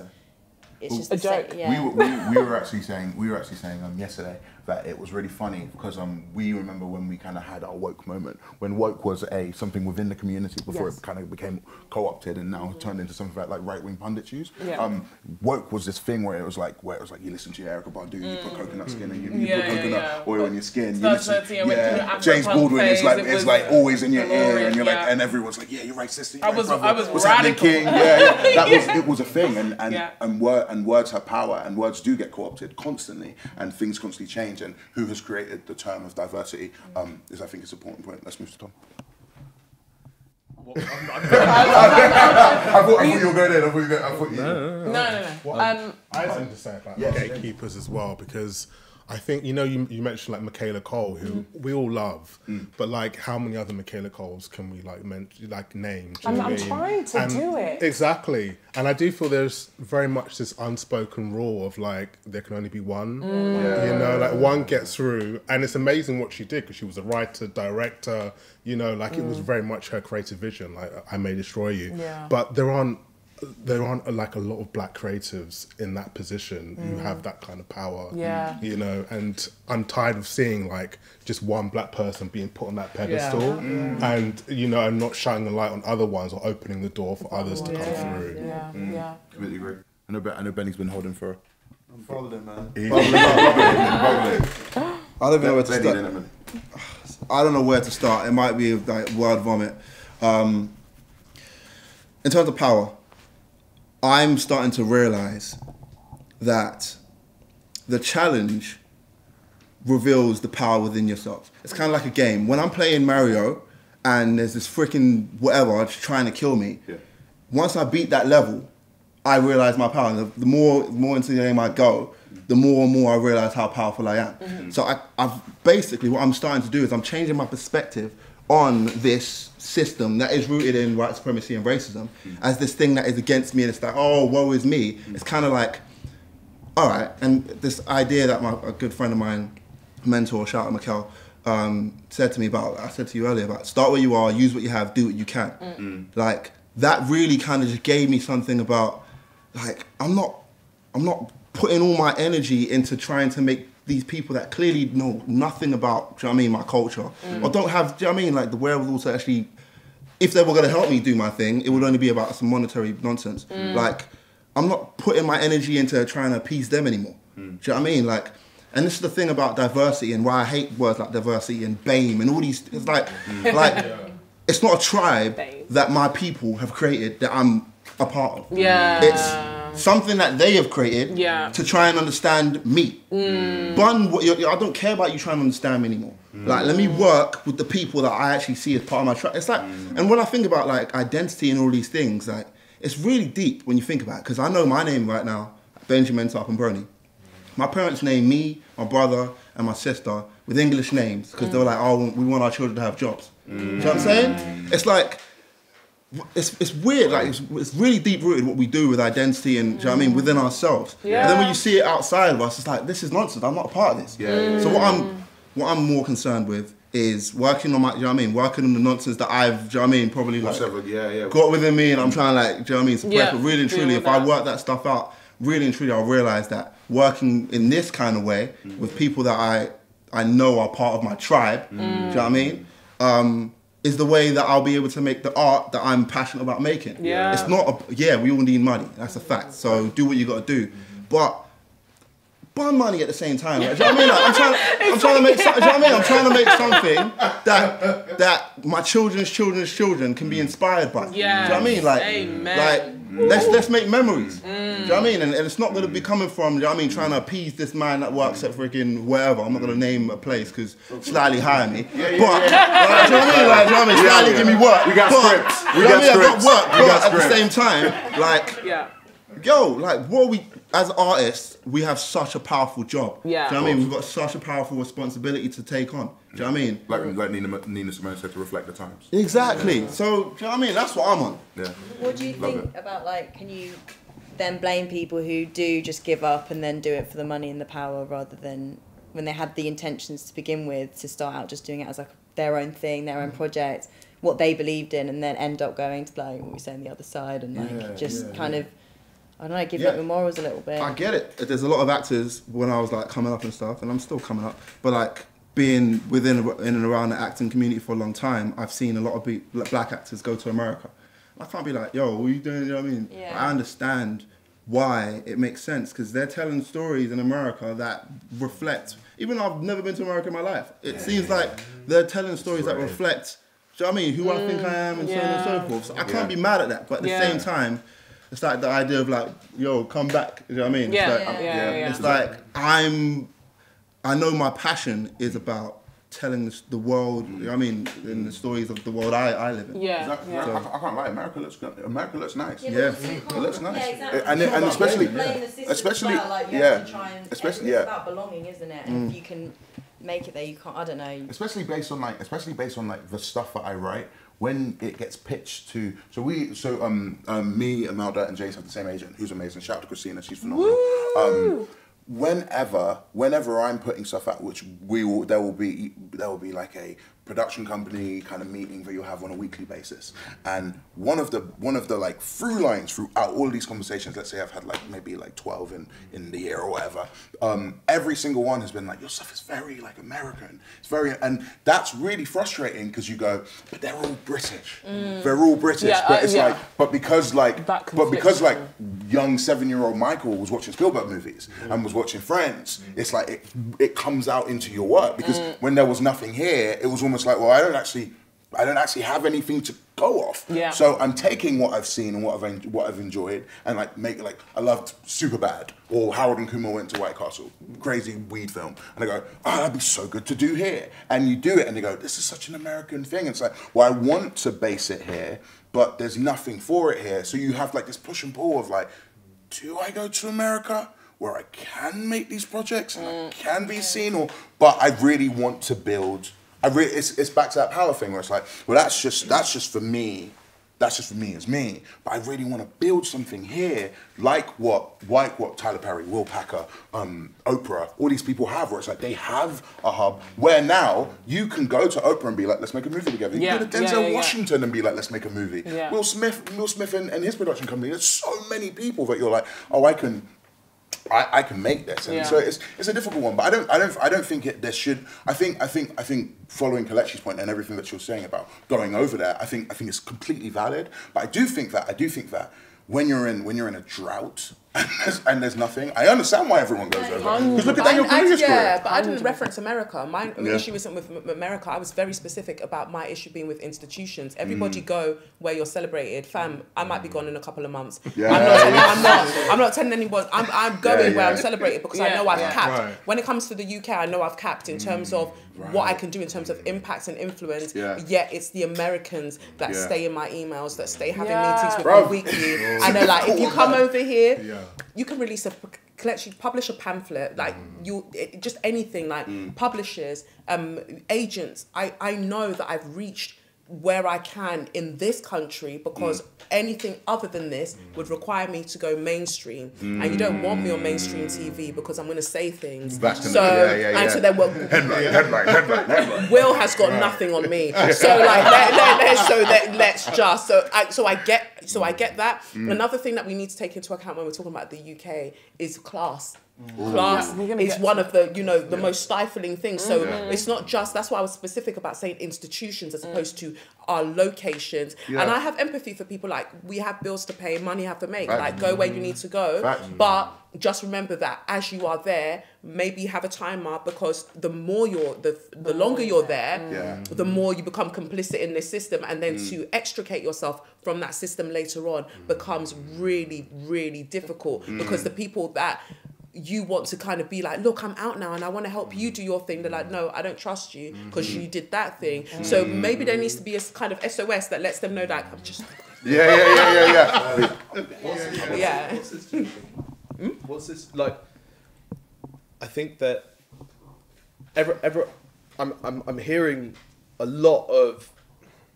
There's this group of villainous baddies somewhere, round a table, but like the more I listen, I can't I can't picture who they are anymore. And I think I think who they are are the most powerful people in society. And I think that you get to those positions in a lot of different ways. I think it's really it's really it's really really interesting. Obviously, um, I'm fascinated by what you're saying and by what you're saying and by what you're saying because like all we carry with us are our perspectives in life and and all you can hope for is you exist in a time and a place where as many of those are allowed to flourish as possible. And if that is our goal then that's fucking diverse right? That's diversity. What i what i don't get is that there's this there's this firstly firstly we're, we're living right now uh, in a system that I agree with you is is corrupt and needs so much improving, but it is it is one of the freest uh, societies that has ever existed on planet Earth. People people everywhere are getting are getting richer all the time. People who were never able previously to tell their stories now have the internet. You were telling me about your web series.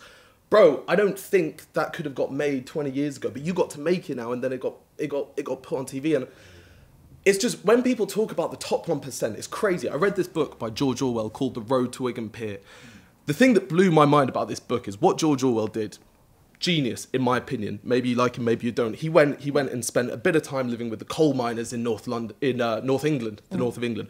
Rough place, rough job. You get up at the crack of dawn, and then you crawl on your hands and knees for maybe two miles in the dark, breathing in coal dust to get to the coal face. You then do a 10 hour shift. Now, this wasn't only men, this was women. He talked about pregnant women having to do these kind of jobs.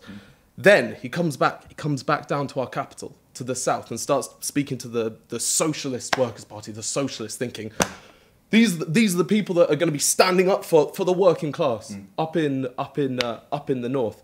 And what he concluded in this book, which I think is absolutely fascinating, I'm, I'm, I'm, it, it really consumes me when I, when I hear conversations like this, is so many of the people that are dancing to the tune of this ideology don't love the poor. They just hate the rich.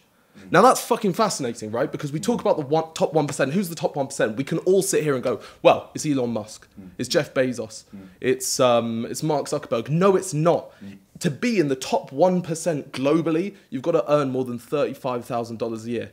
If you earn more than thirty-five thousand dollars a year, you are in the top one percent globally. But the problem is, we don't want to be in the top 1% because we're actually still at the bottom.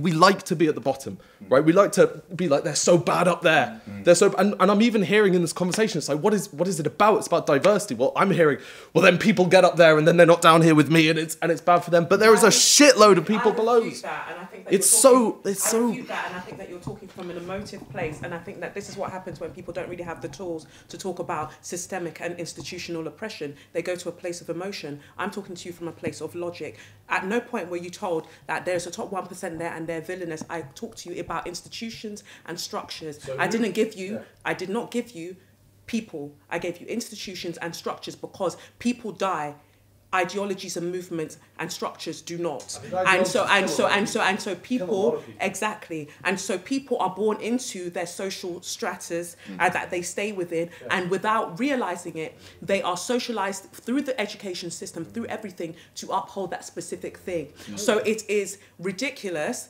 and in some ways infantile to be like okay now what we need to do is find a specific body. I don't mention people. I talk about i talk about structures. So this 1% that's none of my business. Mm. And also when we talk about this being the freest country in all with all due respect you can say that as a white man that is the freest place. And then what you said was it's the freest country because more than ever we've been able to make more money than before. So therefore you've linked freedom with capitalism. Mm. And when we mm. look at capitalism and we look at the womb of the black woman we would not have capitalism if it was not for the way that black women were raped and how Africa was pillaged in mm-hmm. order for us to have what we know as capitalism in this day and age. So I think that we have to be respectful and, and, and take our emotions out of it and focus on the fact that this is about systems and structures that benefit specific groups of people and not others. And the whole reason, the foundation that was set from that was literally because black women were raped. That's why we were able to have the Industrial Revolution because black women were raped. And they created the workforce that then allowed for sugar and everything to come over here and for all of those things to happen. So when we are talking about diversity, we cannot talk about these things without talking about what got us here. Mm. And that's why I feel like my purpose is here because rather than us having candy floss conversations about diversity this, women that, and oh, this is what it's like to be in this world, let's have real conversations because mm. none of these things would be happening without white supremacist ideology, which was brought to us in 1735, ideally when it was documented by Carolus Linnaeus that gave us the categorizations of race as Homo Afer and mm-hmm. Homo Europaeus. That's where we started. So if you want to talk about men, let's start with Carolus Linnaeus, work backwards, then work forward. So I just give you that to work Just, with. just, just, just, just, uh, actually, go, go, go forward and I. Well, and I'm, I'm, I'm gonna say like, like, like amazing, and thank you. And like, I, I came here because I hoped that there would be people like you and like other people here who, who are so armed with information and statistics and, and, and knowledge. I don't think we can have this conversation unemotively because we're, we're human beings and we're not we're not robots and we, we feel things. And again, all I can do is sit here and tell you how things are from my perspective. And, and to be honest, like if if if you're all telling me that I'm I've been raised in a society that's making me see things through this lens, I believe you. I believe you, man. Teach me, like, open it up. There's so much us and them. It's really, I think it's toxic. I'm last thing. I'm reading a book right now called uh, "Stalin: The Court of the Red Tsar." Right, and this this is this is a country that was around in my parents' time, right? Filled, filled, filled with with white people, and they have quotas. They have quotas of how many Ukrainians have to be shot this month, right? Doesn't matter if they've committed a crime. Like this, this, this is how it is. And when I when I say um, we're one of the free societies, I actually. I, I completely hear the things that you were saying to me, and actually, uh, that freedom has been bought with blood, right? And and it's it's it's the blood of people that weren't my ancestors, okay? And I and I and I and I hear this, but what I am saying is there are there are part. Have you read like Yeonmi Park's book about what it's like in North Korea when you she comes out of hospital from a, a appendectomy and she sees the rats eating the dead children, and then uh, living children are catching the rats so that they can eat the rats, and it's this it's this vicious circle. And what I am saying what I am saying is, I think at some point, at some moment, we have to look around and go, okay, if I tell my story, everything will get better. Like everything will get better because the conversation will be richer in some way, and that's a good thing. And the only point I'm trying to make is not that it's not tyrannical, not that it's not corrupt, and actually, the, the things you say like give me goosebumps because because they're so emotively difficult to listen to. But what I will say is that if what Imeldha said earlier, if everyone in this if everyone in this room felt impassioned enough to to to to speak their experience into the communal pot, then I think the pot the pot improves, and it's just it's just we're living in a time where you can do that a lot. I, I just wanted, I just wanted to, I wanted to add. I thought that was an amazing discourse between you two, and I think that um, what the reasoning in why each and every one of you were picked, and why our conversations are happening the way that they are, is because we are a image of Britain. We are an image of Britain, and you were all picked very particularly, and not because I was like, oh, this person's going to go with this person, no, this is going to happen. Because I respect everything. I've had very good conversations with each and every one of you, or been a fan of the work that you do, and I've wanted to have a. We we wanted to have a very very good conversation. We do not live the same lives, mm. and the thing, the, and this is this is Michael's perspective. We do not live the same lives. We have never lived the same lives, mm. and what we have been told what and again there is a reason why there may be a communal kind of like a Understanding. fluency between the four of us or and then there, and then it will jump over here and then it will jump over here and then it will retract back and it's like oh because some people have lived very very similar experiences because what i believe very based on very based on the um, colonization. I think when you say colonization in this country, people don't know what the fuck they're talking about. Um, was? Were, what? What? Why does? Um, what does Haiti have to do with England? What does? I'm, I'm not. I'm not going to answer the question. What does Haiti have to do with England? What does Barbados have to do with England? What does Jamaica have to do with England? Who, where was the majority of slavery? Was it in America? Or was it or was it outside in the Caribbean? Find out. I think. I think that this is this is actually for the audience. I believe. I believe that England as a country should take its head out of its ass and start thinking about where did we get all this from? Because what happens is with the with the Will Smith conversation, the reason why there are so many black people standing behind Will and Jada is because we know what it's like for somebody to cuss your mum in a supermarket or to look at your face and call you a nigger and you want to spark that person out, but you won't because of the police. Mm. You won't because, and not just because I'll get arrested and then I'll and then I'll front bail and I'll come back and you know I'll carry on my life because I could get killed. Do you understand what I'm saying? That's a completely different life experience to somebody who is struggling with their gender identity, or somebody that is struggling with the um, with the patriarchy, or somebody that is struggling with the ide- ideology that we are not all in this together. We've never been in this together. And I think that. why you shouldn't hit that person in the supermarket. Pardon, say again. That's not why you shouldn't hit that person in the supermarket. It's because it's because we're surely, like surely we're we're all collectively aiming, aiming in a direction where we No, where no, no, we're not. Well, sorry to cut you. We're not. We're not all going in the same direction. We are told that we're going in the same direction, and that's what the that, that's almost what this diversity thing is, right? Because did any of you have a say in what these quotas were? Did any of you have a? Did anyone? Did anyone fill out any forms? White people included. Did any, Did anyone fill out any forms on? This is what we want. This is what we want. Um, this is what. This is how we want to change our industry. Let's talk to our industry. I believe this is the first chat that I've seen of people within the industry talking about the industry. Do you know why? Because most people don't want to talk about the industry because everyone's got it good. We don't live the same experiences. And all we have to do is look at the things that you care about. And I think that we always bring it back to this, right? There are certain issues that you care about. Stick to that. Stick to what you care about. Stick to what you care about. But what happens is particularly but what I find within within um, within the white community and what I feel like is kind of happening in this commu- in this conversation. I feel I let me not speak for you, but I believe that a lot of the emotion is coming from the idea of us all coming together as one and pushing out out of these out of these oppressive mind states and pushing out of this way of thinking that is that is that is kind of redu- reductive if you look at what happens in North Korea if you look at what happens outside there are there are certain people there are certain people that can't buy bread right now give a fuck about North Korea I don't care how that looks. Do you know what I mean? That's how somebody is going to think right now. And whether that is right or wrong in the global conversation, there are some people that can't even think about the global conversation. There's some people that are dealing with their own oppression right now, and I think that just to round up, I believe that we're not living the whole the same experiences, and I believe that and I believe that we're constantly told by certain people because I think bringing it back to this villainous thing, um, there are a certain group of like villainous people. When I speak about the system of oppression, I feel like if I if I spoke to any of the females on this on this panel about misogyny, misogyny, misogynoir, or the patriarchy, the basic the basic layman's term um, um, um, um, um, explanation would be system of oppression. What I mean? There is a group of people that are oppressing me because of how I look or how I am because they have made that so. Whenever we bring it up, when it comes to racism in this conversation, everybody has, everybody's got so much vim. Everybody's got so much to say. People don't, we, we live in a world where white people don't even like to be called white.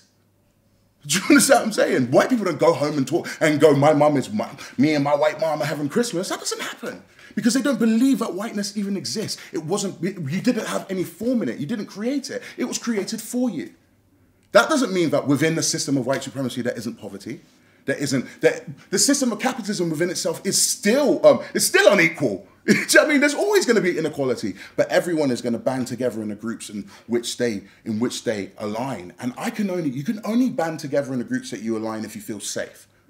And right now, when it comes to the conversation of, I know I'm going on a little bit of one, but I know when it when we're right now when we're talking about this diversity conversation, I do not feel safe. I don't feel like my work feels safe. So you have to choose it on an individual basis. And there are amazing producers that I've met, amazing development executives that have seen me for a human.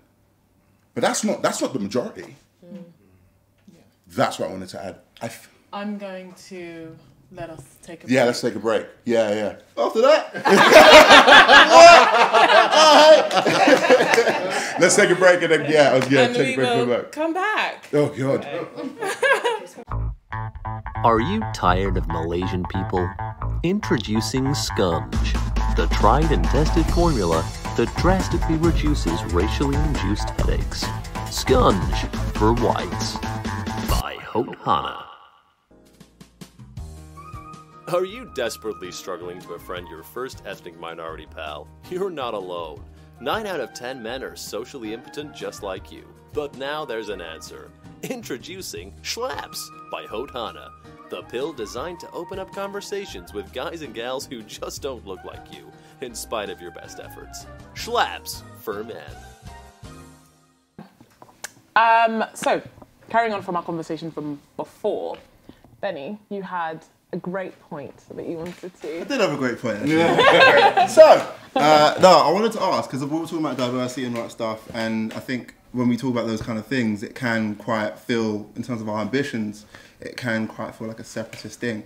But I was also curious to know, like, what's our thoughts on this whole idea of like us all coming together and mm. oneness and us all being connected mm. um, within this industry, which is, I don't know, is that a utopian idea? Is that realistic? Like, what are your thoughts when it comes to oneness mm. with our, do you know what I mean, aspirations of being celebrating our diversity, but all mm. coming together mm-hmm. in our authentic. Mm-hmm. Do you know what I mean?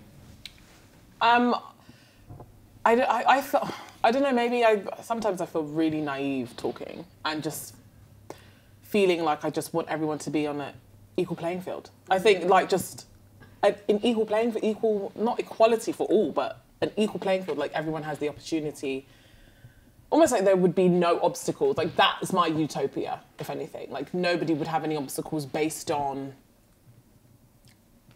their race or mm. their sexual orientation or you, do you know what I mean? It would just be, is your work good? And that's it. Do you know what I mean? Are you is what you're? I'm focusing on what you're doing. I couldn't I couldn't give a damn about Well, that's an obstacle in itself. Like, it's the workers. like, Well, I mean- so, so often, like, I agree with you. Like, wouldn't it be nice if the only obstacle was Is your is, is your worker? your skill set yeah yeah Yeah. and i think if you wanted to change something it would have to be to kind of um, improve your skill set and to have to you know work at your whatever it is that you're doing to get better rather than all these other like things that we have to like deal with i think I and have to, just to ask, um, isn't that like like the idea of being better or getting to the point of good based on an idea of what good is? Do you know what I mean? Because I think individually, yeah. everyone's separate. Like, everyone's got different know how you ideas on what yeah. that good thing is. um, that's a good point uh, yes yes it is because your version of good could be completely worse it could be you. trash to me and i'd be Yeah. like oh you think that you're good I, well, for example we talk about tyler perry movies a lot We do. We do. Oh shoot! We do. Here we go. now I love you, Tyler. I'm just saying. Put out there, Tyler. Lots of wigs. I, Lots of wigs. I, I, I believe that Tyler Perry is a practitioner. I do. hmm I think that he has he has a certain way of creating projects. Yes. And for me, in my opinion, that is not how I would do it. Yeah. That is not how. But I don't. I don't want to say that it's not good because he makes millions at the box office. I don't. does. He people. does. He has a demographic that are clinging onto his every word. Do you know what I mean? yeah. And to them, they're like. Did you see what was that? A Fall from Grace. Oh, Ah, it was wonderful. I have family members. My mum came to me. She doesn't watch like English films. She said, "Oh, I saw um, uh, for Grace, Grace," and I was like, "A Fall from Grace." She was like, "Oh, it's very good." I was like, This is why you shouldn't trust people. yeah, this is why you shouldn't trust yeah, people. yeah, exactly. yeah. And I was like, she followed the storyline. She loved it. I was like, But it's, this is this is this is not a this is not how I would do that. Of film. course, but Tyler Tyler knows going kind of what from what was Tom was saying. Like it isn't it isn't just based on being good. It's being based on like the business as well. And I think that I think that a lot of the time we get told that within this industry, like um, oh you wouldn't be able to work for the business. But I feel like Tyler Perry is a good example of that. Yes. He he he has a demographic.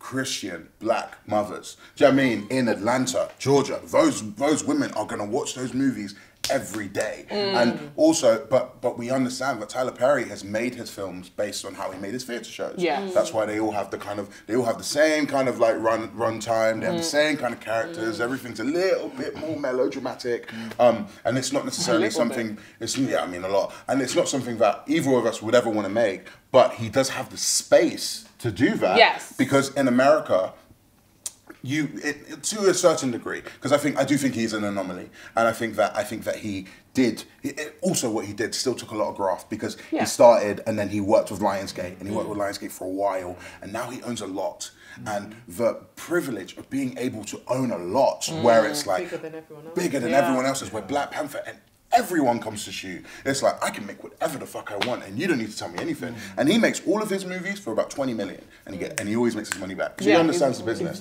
and he understands how the business works for himself. Um, but is that something that I would necessarily do? Is that is is his, is his work? Uh, do I identify with Tyler Perry's work in a certain way? Like when like like watching last the Temptations when I was in college. Oh, Do you know what I mean? God. Yeah, like, yeah. Watching that movie or whatever. Yeah. Um, I remember that. But Yeah, um, but I, I think like in terms of like good and quality, I feel like it, like you're right in terms of like good is different for different people.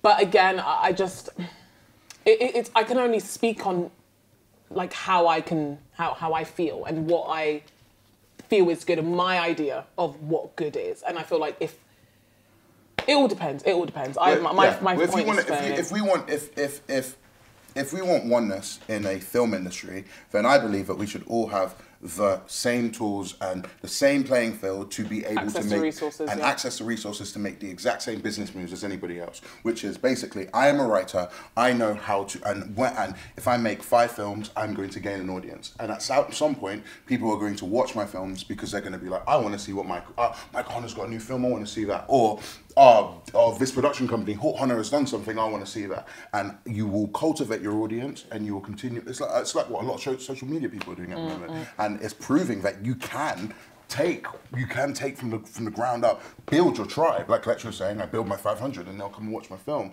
and that's un, and that's understanding the business but I know I'm, I'm sure it takes graft and it takes a and it take and and this is where this is where how can oneness work when there is where if I believe there is a system of oppression that makes it so much harder just to be able to make a film Do you know what I mean? Just to be able, like, I, I, I came into the game trying to. Um, I worked on a film with. I worked on a film with Melda and and Tom and um and and Yaz, um, which Yaz which Yaz was Yaz was in, and then.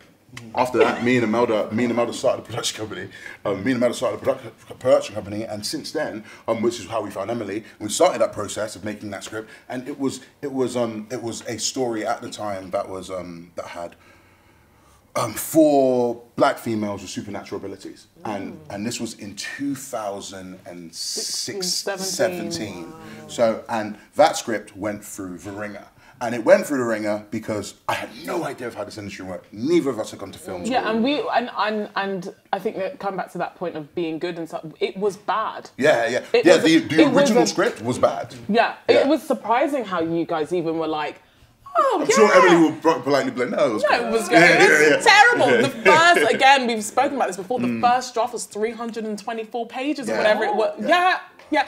And, And I we took it, and I took it to production companies. and screamed at him. people on the phone going, With him. "Oh, if I was Quentin Tarantino, you would." You wouldn't. Yeah, Can yeah, yeah. believe- I was, I was screaming. I was screaming. I was screaming. I was, I was like, if, Wow. if this was something else, because I felt like, I felt like I couldn't even be mediocre. Yeah. Do you know what I mean? I felt like, I feel like I didn't. My work couldn't be mediocre. Mm. And um, looking back at it now, that project has, has enveloped and enveloped and enveloped and enveloped, and and it's just kind of got to this point now where I missed, I missed the mark because now all the supernatural stuff is coming out, and um, and I, I wish I had the business tools at that Yeah. point to be able to understand how to bring down my script and how to do that. But since since that, we got signed to Christina, and now my script's a, a million times better. Do you know what I mean? And and I feel like I have the tools now to be able to build, but that power and that wealth is a very difficult thing. I also wonder how much of that can we kind of, um, how much race does play a part in that? Whether Mm. it's like, was it because you were not good? Because I think that we, Mm. because at the time we were sort of like, it's hard for Black British filmmakers to make something Yeah. with a really bad script. Well, particularly- But then I think when looking back on it now that we've honed in on our skill set, I think we realised, or you've honed in your skill set in Mhm. regards to that. I Mm. think we realised, oh, it was. It, it might have had more to do with the fact that the script was bad because some of the people you went to Yes. were championing black writers. Well, well, I was, I was, I was having. I hope you guys are man. Um, I was having this conversation in 2016. I was, I was going to the production companies with no agent, with no agent, no backing, no nothing, no money in our pockets. Me and Mother would, me and Mother would, I would bump train, and we would get to thing, and, mm. I went- and we would get into the Netflix building. We had meetings with all of these people, and we would sit with the script and be like, Emily can tell you, we'd sit with the script and be like, okay, we're chatting with this person, we're chatting with this person. This was, this Yeah. was going, and it just, it, it was, it was a really, it was a really, really difficult, really difficult process. But I think It's an Look. int- you see, I thought I was going to say that it's an interesting thing, but I, I don't think race ever leaves the conversation, Mm. right? Because regardless of whether the script was horrendous, Mm. right? White men specifically write horrendous scripts all of the time, Yeah. but they're given the space and they're given people to help them either make it better or let's try something else. I always give the example of Lena Dunham when it came to girls, she said she wrote. She said with her chest that she gave them a page or half a page Yeah. of her treatment, and she said, "This is what I want to make," and HBO gave her money Yeah. to make something that she'd even, she hadn't even given them a script. She just thought it out, thought it Yeah. out, and they said, "Oh, but she had a short film out before. She had a short film out, not a series. You didn't know whether she could do a series or not, Yeah. whether she could develop these characters or not." So I say that to say like when we're talking about equal playing field, we also should be talking about an equal access to be shit. As Yes. I said it 100%. earlier, like I, I just want space to be horrid. Yeah. I want you to watch it and be like, my God, what is this? But Yeah, yeah, because yeah. the same way that you watch other people's things Yeah. and think, my God, That what, was it, what is this? And that Yeah. shouldn't write me off. Yeah. Like I should be able to make that and come back to you and say, you know what, I've had another idea. Can I have 10 million pounds? Yeah, yeah, and, you yeah. and you give it to me as Yeah. a, the way you've given other people. Yeah. yeah, yeah, yeah, yeah. Because um, just just sorry, buddy. Just to add, but when we were when we were in that when we were in that kind of early early manifestation of mm-hmm. Haute Honnah, mm-hmm. There was a lot of there was a lot of ideas that were being thrown out to certain companies, which I won't name, um, but certain certain ideas like um, we have. This is the first time we got in touch with Benny. Um, we have got an idea of making Oh yes. um, 12 shorts about these Black British projects, and hopefully we can put them out, and maybe that would be that be something. And that p- particular production company said, um, "Oh, we don't we don't do We don't we do don't, we don't do shorts, and we wouldn't be able to help you with that." George Floyd dies, and now they do. and now they do shorts. Yeah. So And- and, yeah. and that's not that's not the development executive. That's the head. Mm. And that that is frustrating because you go, well, was I on the wrong end of somebody dying? do, you, do you understand what I'm saying? And Was and I on sounds- wrong end of someone, yeah, of someone yeah. understanding what racism Yeah, is? of- The of some- world. yeah. They don't Un- understand what racism yeah, is, but they yeah, understanding that what person quotation. dying. Yeah, yeah. Because that because I feel like that's a lot. That's where a lot of the opportunities of kind of for, for the black diaspora. That's where a lot of the kind of opportunities that come through have come under the under the death of a man, and that is another reason why it's kind of like. I don't want to touch that at all. Yeah. Because it's like somebody died and now we're using it as like a thing to be like, hey, let's all come together. And it's like, no, but there was no, there was no, no one won. Yeah. Man died. We saw men him. are We saw still yeah. dying, And men I are still think. dying. And and like we never spoke about Breonna Taylor. And we and, Mm. and and even before Breonna Taylor, we didn't talk about Sandra Sandra Bland. Bland. We said that Michael Brown was was a thug. Mm. We said that we said that Tamir Rice deserved to be shot at 12 years old. And do you know what I mean? And you bring that up. Um, people that went to uni- university with me know that this is something that I've been talking about forever.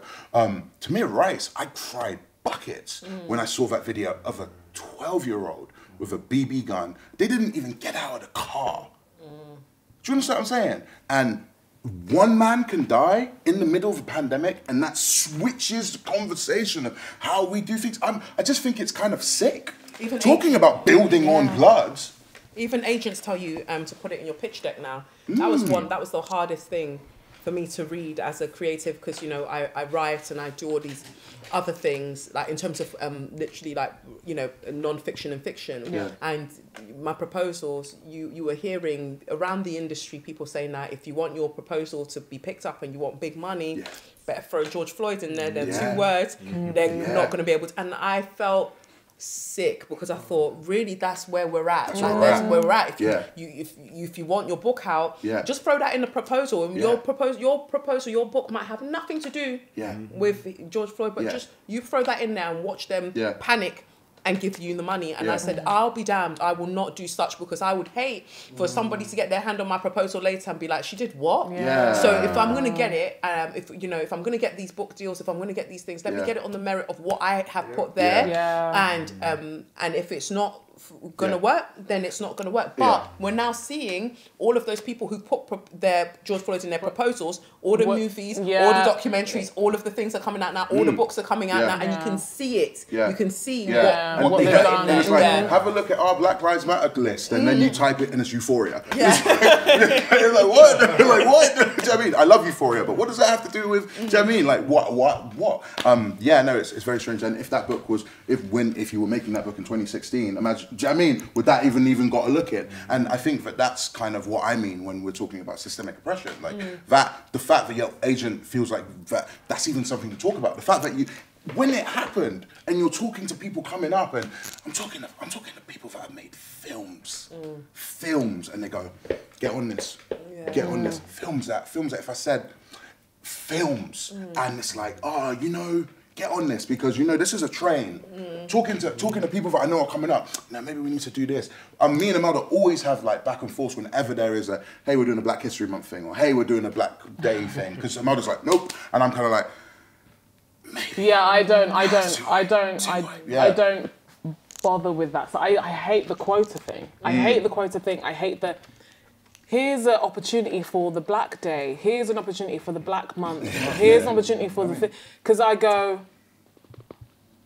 Uh, is it, it? This is actually just because I'm just because I'm black. It's got nothing Oh, yes. to do with what I have to offer. It's, Oh, yes. And also, after the fact, what is going to happen to? Am I going to be thrown to the wayside? Great, thank you for your black paintbrush, and we'll see you later. Mm. Yeah, thank you for it's filling like, the quota. Yeah, But then again, but then again, you, but then also like people are getting opportunities to like write scripts that are on telly. Exactly. And then they are able to go into rooms and Yeah. go, hey, I wrote that. Yeah. They only got one episode, but I wrote that. Yeah. Hey, I did this, I did this episode of this soap. Hey, I did this for this. Yeah. And you go, well, it's an opportunity. Yeah. Mm. Like I'm, I'm moving forward and maybe it maybe it does bring you into the sex education um, writers room and then and then you and then you give him green eyes and then you go in and then you're able to, I mean, yeah, get to take yeah. out the green and then you get to take out the green eyes in your own project. Yeah. Maybe that is, you know what I mean? Maybe that's, maybe that's it. Maybe It's that's hard, it. that, that, yeah. The compromise is really compromise is, is, it's- is, is, it's, is it's horrible. difficult. How um difficult. how do you guys how do you guys feel about um social media and and how does that affect how does that affect you? like Yeah, I have. A. I actually have a full question here. Does social media allow the BAME artist, sorry, I know you hate that, to create without adhering to quotas and industry standards? Because obviously, I, we're all you know in the same generation here. I'm not going to deny, but yeah. Um, and we've all we're all, all on social media, and we know that social media is a platform where you can create something and it pop off or put something up and it and it go viral or whatever, and people actually listen to you, and you mm. ha- now have a voice. Do we feel like we can we separate social media from the industry? Mm. And how do we feel like what do we feel like about the relationship between the two? You know do we feel like there's more freedom in terms of creating mm. or are we still almost like getting crumbs mm, mm, uh, because it's like mm, social media do you know what i mean yeah. like um i'm, I'm gonna throw that Yeah. question i'm gonna throw that question out to the to, Um, to the field Yeah, yeah. yeah. I have a somewhat controversial perspective on this. Mm-hmm. let's hear it I think social media gives us less of an excuse to look at something outside of ourselves to be like, why? You're the reason why I'm not doing my thing. Controversial yet correct. I, I hand on heart. Right, right. No, I, I think I totally agree. We there's so much talent. You know when you know we keep alluding to it, but when people were like, "Oh, such and such made that joke," it was a joke. Comedians make jokes. Um, why? Why he did he deserve a slap for it? We're all out. The jury's out. The jury, no, no, no, no, no, no, no. I'm just saying. No, no, I'm just saying. I'm just saying. I gave that example to say there are funny people on the internet. My Yeah. God, Yeah, humans yeah, are oh my hilarious. They really are. They are so funny, and they're not trained comedians. They haven't, you know, No. and yet.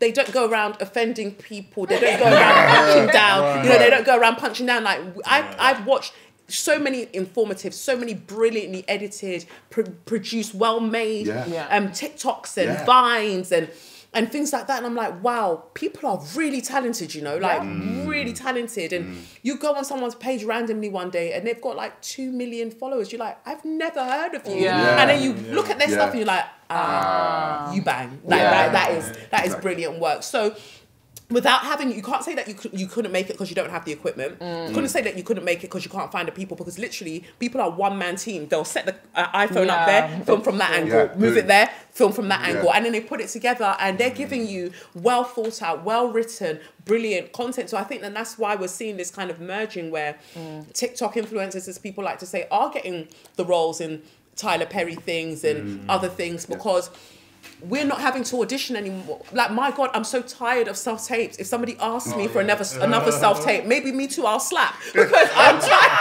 I'm tired of self tape because it's out of your hands. But you're Correct. like, Correct. I'm talented. Can you just let me Yeah, yeah. show you? Yeah. Um, and I know that's what the self tape is meant to do, but it also r- limits you. So then you have the social media where.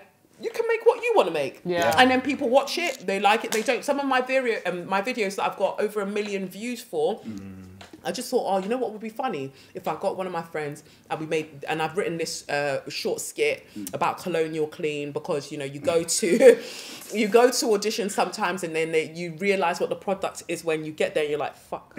Um, so I, I, I just created the, this product that was horrendous, Yeah. and we did that with each other and the views were mad. And so um, it was from watching one of those that one of the bbc people asked me to come into the writers room for something just because of that Amazing. of that video. Yeah, yeah, so I, I agree that we don't really have an excuse. Like if we really want something to be out there you know when I was talking about working naturally, that's pretty much what I mean. Like, Yeah. as long as we get something out there, web series, things like just Yeah, yeah. get something out there to start with. Yeah. I know we don't want to keep referring to America, Yeah. but awkward black girl with Issa Rae. Yeah. you have to put That the thing out there, Budget but you also nothing. have to be Yeah. consistent with the thing. You can't just make one exactly. thing. You have to be it. consistent with the thing Yeah. enough that people can trust you, Yeah. and then who knows where you'll go. But even if you don't go, you know, like I was saying earlier, even if we don't go into the institution, Yeah. you have enough money and capital and reputation Mm. to keep making your thing Yeah. from the outside. Yeah. Um, and maybe that's what we want. Maybe if we're talking about avenue. oneness, maybe we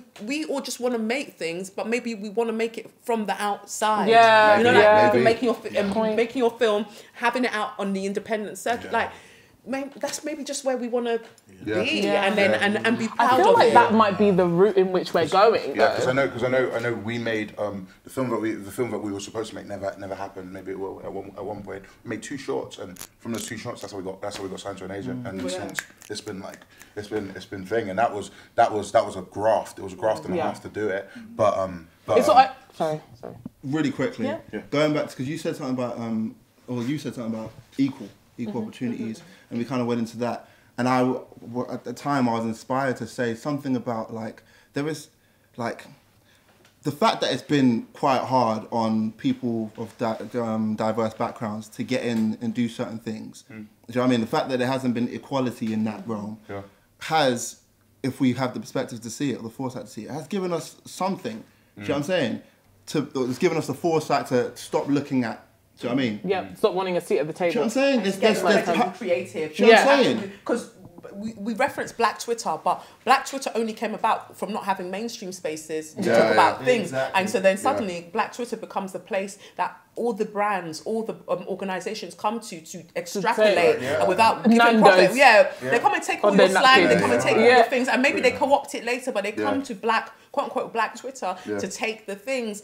You go on Vine, the people that are, or TikTok. You remember when the TikTokers did a strike because the Black creators they were finding that the white creators were taking their And then things they were and then they, yeah, they were getting lots of money and lots of um, visibility, Yeah. and they went on strike. And I think that that's beautiful because if we're talking about oneness. Give credit where credit is due. If you've Mm. been inspired by someone, make sure you signpost that person so they can also be seen. Because due to the current society that we live in, if Mm. you take my dance move and you're white, you're gonna get the one. You're the one invited onto Jimmy Fallon, Yeah, not not yeah. me. You know. And it's like it almost goes back to the gatekeeping thing as well. Mm. mm. Because the one that comes into mind when you were speaking about it earlier about Michaela Coel mm. is the Phoebe Waller-Bridger thing, and it's like, and Phoebe Waller-Bridger did Fleabag, mm. you know, great, no. And then uh, Michaela Coel did I May Destroy You, and then people discovered like chewing gum, Yeah. uh, which had she, which was I think originally on the BBC, Yeah. Channel four. Channel Channel Four, Yeah. um, but had begun as a stage show, Yeah, just yeah, as yeah, Fleabag yeah, yeah. had. Yeah, yeah, yeah, yeah. yeah. And It was then like chewing gum remember- dreams or something like that. Yeah, yeah, yeah. something like that. And and it had to like undergo a revision, I think, from when it got made because I think it was about the character was younger, so they revised that mm. up. But so many people came in and were like, "Oh, if you love Fleabag, you'll love chewing gum," and they were like, and this mm. gatekeeping kind of thing. Mm. It was like. Phoebe Waller-Bridger is the one who's doing the comedy that's breaking the fourth wall and doing all that, and so like, yeah, but Michaela Coel was doing it before, Yeah. and we, we, you know, it's, we don't need to. They're two very different things. Of Chewing gum dreams is not Fleabag, and, and I'm not. Yeah. I'm not conflating them at all, but it's like we acted like, and I say we as a society, Yeah. acted like Fleabag was the first thing Yeah. to do this Yeah. because it was written by a woman. I don't know. I don't know why that began. Yeah. Mm. I'm Yeah, not yeah. taking away any of its credibility or like any of her skills as a writer, but it's going. But this work was being made before. Yeah. It had, and if I'm, I may, I may be getting the dates wrong, but I'm fairly certain. I mean, Chewing Gum Dreams absolutely aired on TV before Fleabag. Yeah, 100%. And I think the 100%. theatre show aired before 100%, Fleabag. 100%. And they're, they're great examples because they Yeah. both came. They both came from theatre shows and they went the way mm-hmm. up. And it's just like you do see where the power kind of lies, and Yeah. and, and, and and also and also and it's like it's an it's. I feel like there must be a, a massive load, mass amount of pressure on Michaela Coel as well because mm-hmm. when you become the one, you are the one. Just like Lupita Nyong'o. Lupita Nyong'o did Twelve Years a Slave, and now everyone's like she's like the most beautiful black girl. She can't put world. her And foot so wrong, she's had that to woman. back now. Yeah, yeah, yeah, She'll exactly. sit behind Will Smith for the Oscars. Yeah. Then he's veering towards that conversation. What she does? would we would we like would we like would we like to engage into the conversation? We'll have a, we'll have a vote. Would, would, would we like to? Do engage we into wanna talk about Will Do- Smith? We don't. We don't have to. We can. We can cut this up. It's your podcast. What do you? What you I mean, we've already said. Well, I've We, said. I've said what I have said. said what we've said. If you want to know what we think about Will Smith, please watch the episode before this and the Episode episode 16. before this yeah, one. Yeah, yeah, that yeah. one. True. I did want to say something though, you know, about the freedom, Mm. because I think for me, like when I did like my web series, Mm. the main character, black gay guy, You know, it was based in like uh, Peckham. We were talking about gentrification. Mm. There was a whole episode on chemsex, and I felt absolute freedom to do exactly what I wanted to Mm. make the show I wanted to make. Um, I did a bit of crowdfunding, but like the rest of it, you know, I funded, you know, Yeah. myself. Yeah. And you know, people always ask me, you know, like when season two coming out, you're gonna do another Yeah. season, and I would love to, but like it's, when you're doing stuff on your own bag, it always comes back to is it feasible? Yeah. So and I think particularly as black creatives as well, I think you have to get to a point where it's like, how long can you keep working for free? Yeah, You know? yeah. And particularly when you're the one where you're contributing so yourself, much yeah. and being an inspiration board Yeah. for a lot of other things that come Yeah. after you. Yeah. Mm. You know, you sort of have to ask You- these you- it's almost it's almost like also like stopping at stopping at the pilot and like and also also going I'm giving you a sample mm. and it's like if we want to carry on this script let's com- let's get commissioned because you can commission and, I mean, and we yeah. are in we are in situations where where as soon as you get one you can you can there there is proof that we can that we can write a script and we can get a treatment mm. like sometimes it sometimes it, it's a it's a really hard game because it's like you have like you have like like seven projects like Amaldo and you got like six like me. And it's like man and there's loads more that are writing and you're just like man I just I I I really want to just like give this out. But sometimes I'm like actually let me hold back. Let me hold back and let's start let's start let's start like how every- how everybody else starts. Here's the tri- here's here's the one pager here's the idea. Let's talk. But Yeah. so I feel like another thing for me though is like imagination. I want to gift the British public more so imagination. We talk about, you know, sometimes they say, oh, something's not going to sell Yeah. um, because, you know, um, a 65 year old in um, Yorkshire won't Yeah. want to watch that. But you don't know that because It's you bollocks. haven't given them the opportunity Yeah. to choose. You've only been giving them period drama after period drama after period drama. Let them come and tell me, I never want to see you on my TV again. All right, cool. Then so- That's fine, but Yeah. yeah, you know, but you don't even let them do that. That's why they lose their minds when they see a Christmas commercial that's got black people because you didn't Yeah. prep them for Yeah, that. You didn't, Yeah. you didn't prime them for that thing. You just threw them in, Yeah. and they're like, "What? What? What's The this world's meant to be?" changed. Yeah, Yeah, yeah. Yeah. And um, so I say that because we did a proof of concept myself, Kevin Morosky, and Susan Wakoma, and Tom Dunn. We did one called More Time, um, um, and it's we wanted to do this mockumentary and it's based on in an advertising agency and we are the two um, black women that work in our office and you know just the day-to-day frustrations that you face in the office space um, or within advertising.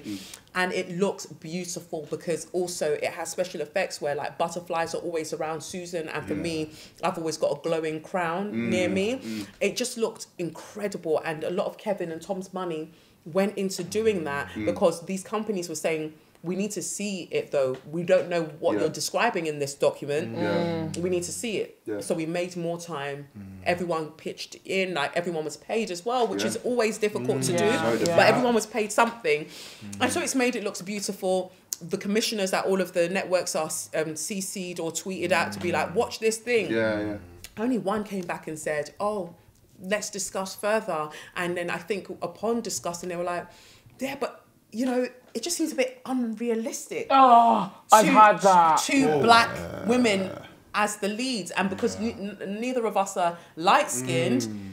Yeah. It just seemed like they couldn't compute in a world where Error, error. yeah, it was glitching. Like, what, what does this mean? But Yeah. that was disheartening because it's like, well, we, we've gone out and made the thing to show you that it works. So where we're actually stuck at now is just imagination. You just Yeah. you just can't imagine Yeah. that this would ever be a world where these two black women would work in advertising and there's nothing else that we're really referring to in terms of their blackness per se, apart from maybe they might reference food and you mm. know things here and there. But ultimately it's just they're just two characters. Yeah. Why is it so hard to believe that Yeah. they're just characters? I think that that that for me is one of the things coming into this industry that maybe shocked me the most. Yes. And because I was just living in my ignorant bubble as a dark-skinned black woman, you know, born the way I am and just going through life.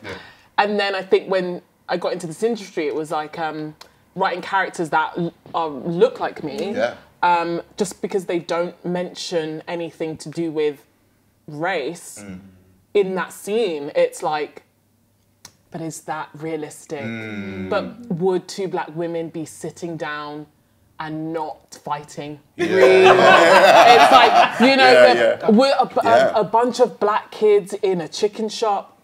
Obviously, a knife must be present, and it's like they're not gonna smoke. Any Yeah. there's no drugs. Yeah. What? That's not real. And it's like, wait. And then I always check myself, like, Yeah. Am I right? Yeah, Did- yeah, yeah. did- have I missed? Am I crazy? Did I, should yeah. there be a drug in there? Yeah. Maybe I So didn't. Freaking annoying. Is it? Yeah, well, even even with even even with the even with the treatments, even with like making the treatments, like a lot of my projects are a lot of my projects will um Imeldha knows I'll, I'll like watch um I wa- there's a really good conversation between Nikki Giovanni and James Baldwin. Yes. I, I, I love that conversation. 1972. Um, I watched it and it made me think of. I, I was like, okay, cool. I've got a feature film. Start writing it. Start writing it, and then I'll be like, oh man, um, there's a lot of like heavy jargon about race that I just kind of understand and I've read the books and I've got how am I going to pitch that because I've been in situations where other projects like I've made I've written something that's about um the Haitian Revolution, but a fictionalized kind of like Game of Thrones thingy, and like you want to, it's like, do I now have to have like a history lesson? Do I now need to like explain to you firstly what happened in Haiti, and then because a lot of the time people are like, oh, well, was that even a thing? I was like, yeah, were the free people of color. There were people that own plantations, and people like, own plantations. What? Oh, and it's like, and sometimes it's excitement, and sometimes it's like too much excitement to the point where it's like, I actually don't know enough about this, and I can't go further with this because I don't have enough information. Same thing happened with Purple. Um, when we made that project, we I was we were talking about like um, um, supernatural abilities being a met, man, manifesting themselves in um, me, in, ma, uh, s- mental, health, men- mental health, and like and like black identity manifesting itself within supernatural abilities. So without the word black, but using the word like gifted, Yeah. being like being like this kind of actu- uh, this alien being, and um, that was something that I was explaining and, and going really into it and having this having a similar conversation we're having now. And the woman was like, "This is really good. This is really good," but I don't know if this would be palatable to a white audience. And I go, "Well, how?" I, I, I'm not going to stop making this. Do you know what I mean? But then I don't. I also don't have the two million to make it. So I'm in. I'm in this really. So then you just have to keep writing projects until one, One hits. sticks. Yeah, I'm Emily.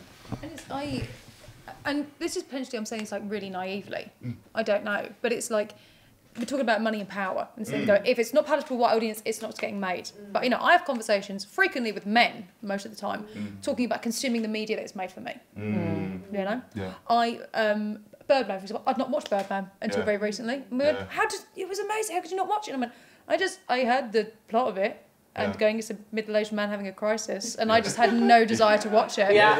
And I watched it and I go, cool. It's I'm sure that film speaks to somebody. Would I rather watch Pretty Woman? Yes, I would.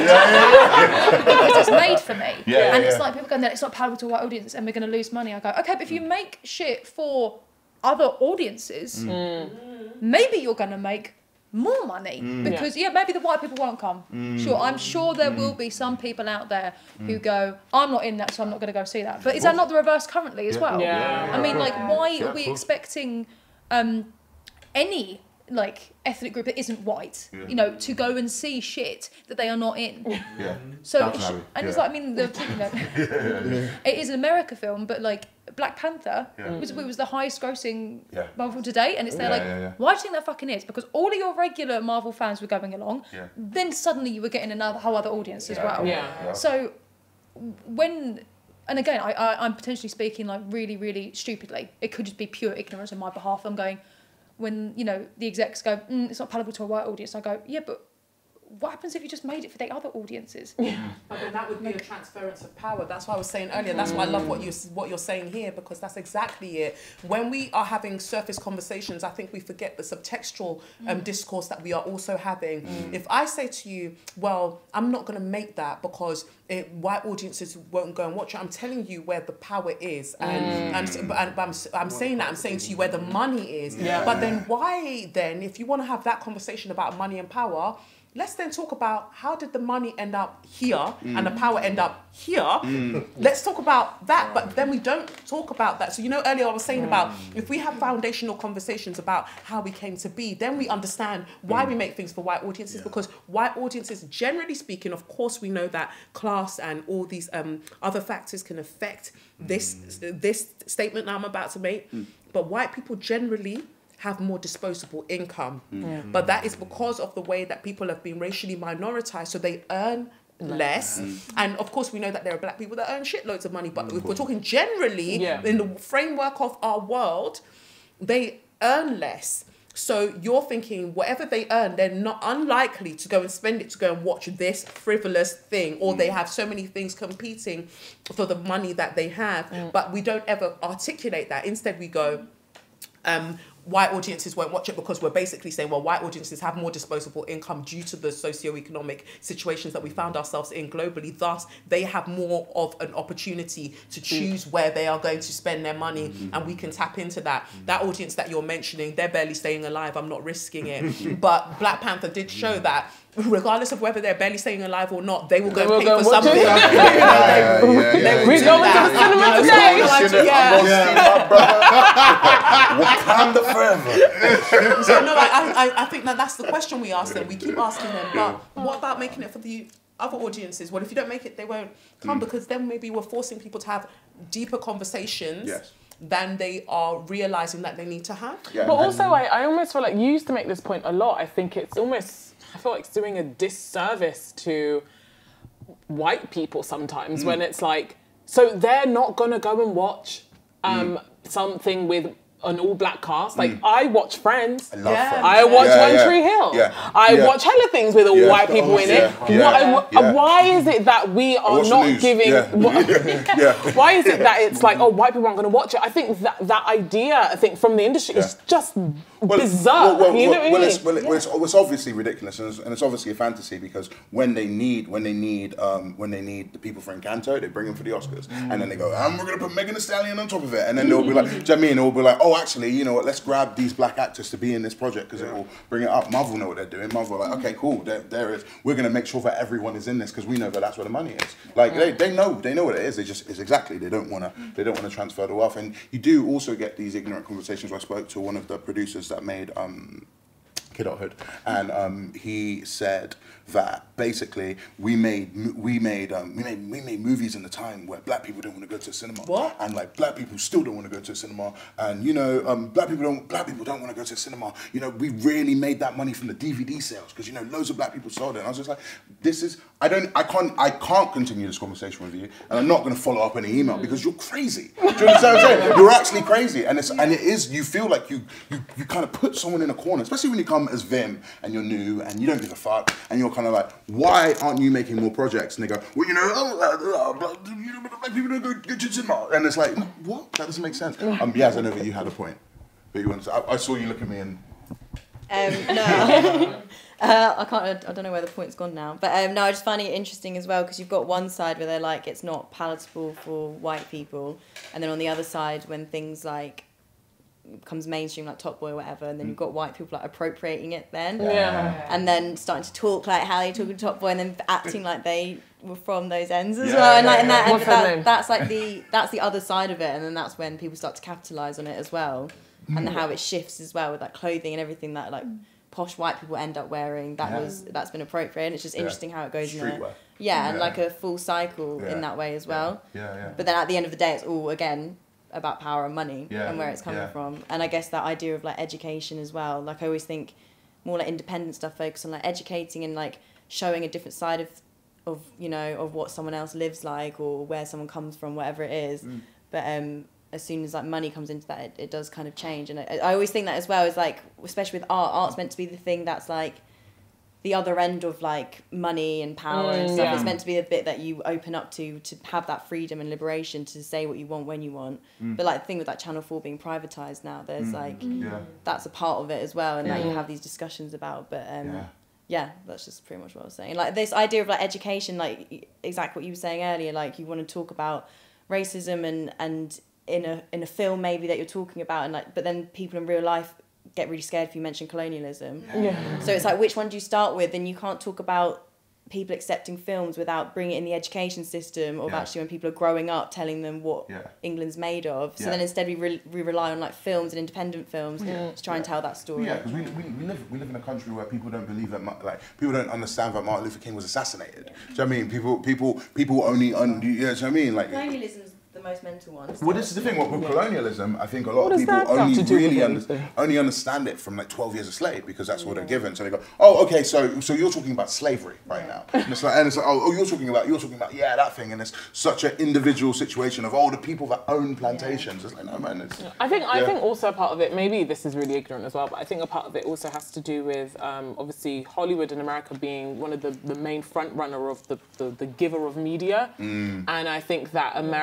Americans uh, kind of discuss slavery a lot, you Yeah. know, and um, when it comes to Britain, col- colonization is one of the main reasons why I'm here. Yeah. I'm sitting in this place Right right, now. now. you know, and, and my my parents wouldn't have come to this country Yeah. otherwise. Yeah. You know, and Sierra Leone was made because you know, of colonization. I'm I'm Yeah. I'm I'm from Congo and and um, we weren't part of the transatlantic slave trade, Mm. and uh, but I'm I'm still here. Do you know what I mean? Like, what is that? You know, why why why did they come here for a better life? What why is that a why is that a, a general story Mm. across a lot of minority? Oh, my parents came here for a better life. My grandparents came here for a Mm. better life. What is that? You know, and especially I- I'm I'm not Caribbean, so Mm. they weren't part of the Windrush. You know, I I I that I can't relate Yeah. to that. Do you know Yeah. what I mean? I, I don't. I can't, I'm, I'm sorry, but it's direct not. decision it's not my thing. economics. Exactly. Yeah. It's my parents. So like, if I stay here, my future I can't even see it. Yeah. Hmm. I must go over there Yeah. and. My children will be able to be successful, and that comes with its own bag of issues when we do get here and they do have the kids, and we face the the Black British, you know, crap that we have to hmm. face. Yeah. But I, I think for me, like in the UK, we, we need to have that conversation of colonization. Like I, I don't understand how that is. It's Yeah. almost like Missed. because people say, "Oh, slavery happened like 400, whatever it happened that time." Yeah. Then it's just like, cut. Oh, and they like people love making media about it now because it's like, oh, it's something that we did in the past, and Yeah. like we're really sorry about it, Yeah. and now it's not affected. Winston Nothing's Churchill's a affected hero, by. and we love him. Yeah. It's like it tainted our history. I always find the wording, language is so important.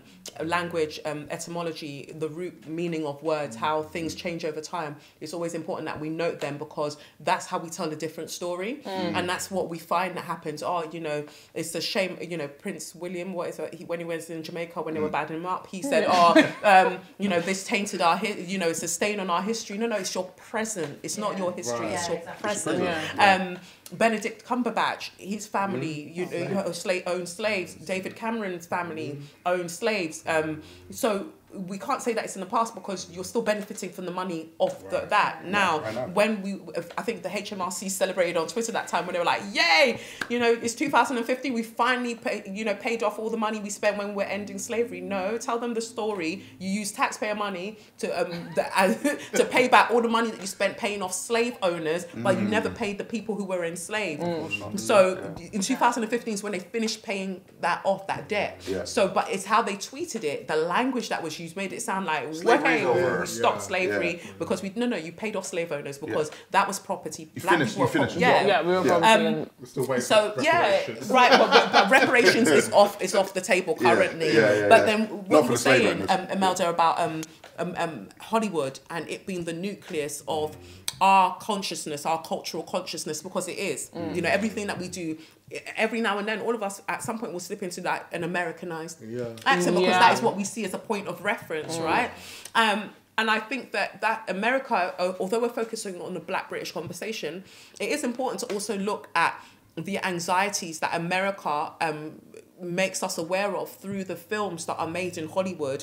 One, um, America is a British colony. You know, Yeah. so that gives us a great place to start. America is a British colony, and they went off on their own after they were like, "Get out." They went off and did their own thing, and they got really wild with it. Yeah. But Britain, because they got really wild with it, Britain can sit back and be like, "Well, We're not It's bad. all them. Yeah, look at that. didn't do that, crazy they are. Focus on didn't do that. They Yeah, did that, yeah. but it's like, no, you're worse. You just you hid your hand. Yeah, but it. um, mm. why so many invasion films? Why so many alien invasion mm. films? Why are you so scared about invasion? What what mm. did you do Right. that's making you so scared of invasions? Like every day, an alien is invading you. Why is an alien looking for you specifically? Don't you think that's suspicious? Don't you think that's suspicious? Don't you think that's suspicious? so um, I say that because we were talking about where we create from, and we create from our perspectives. Right.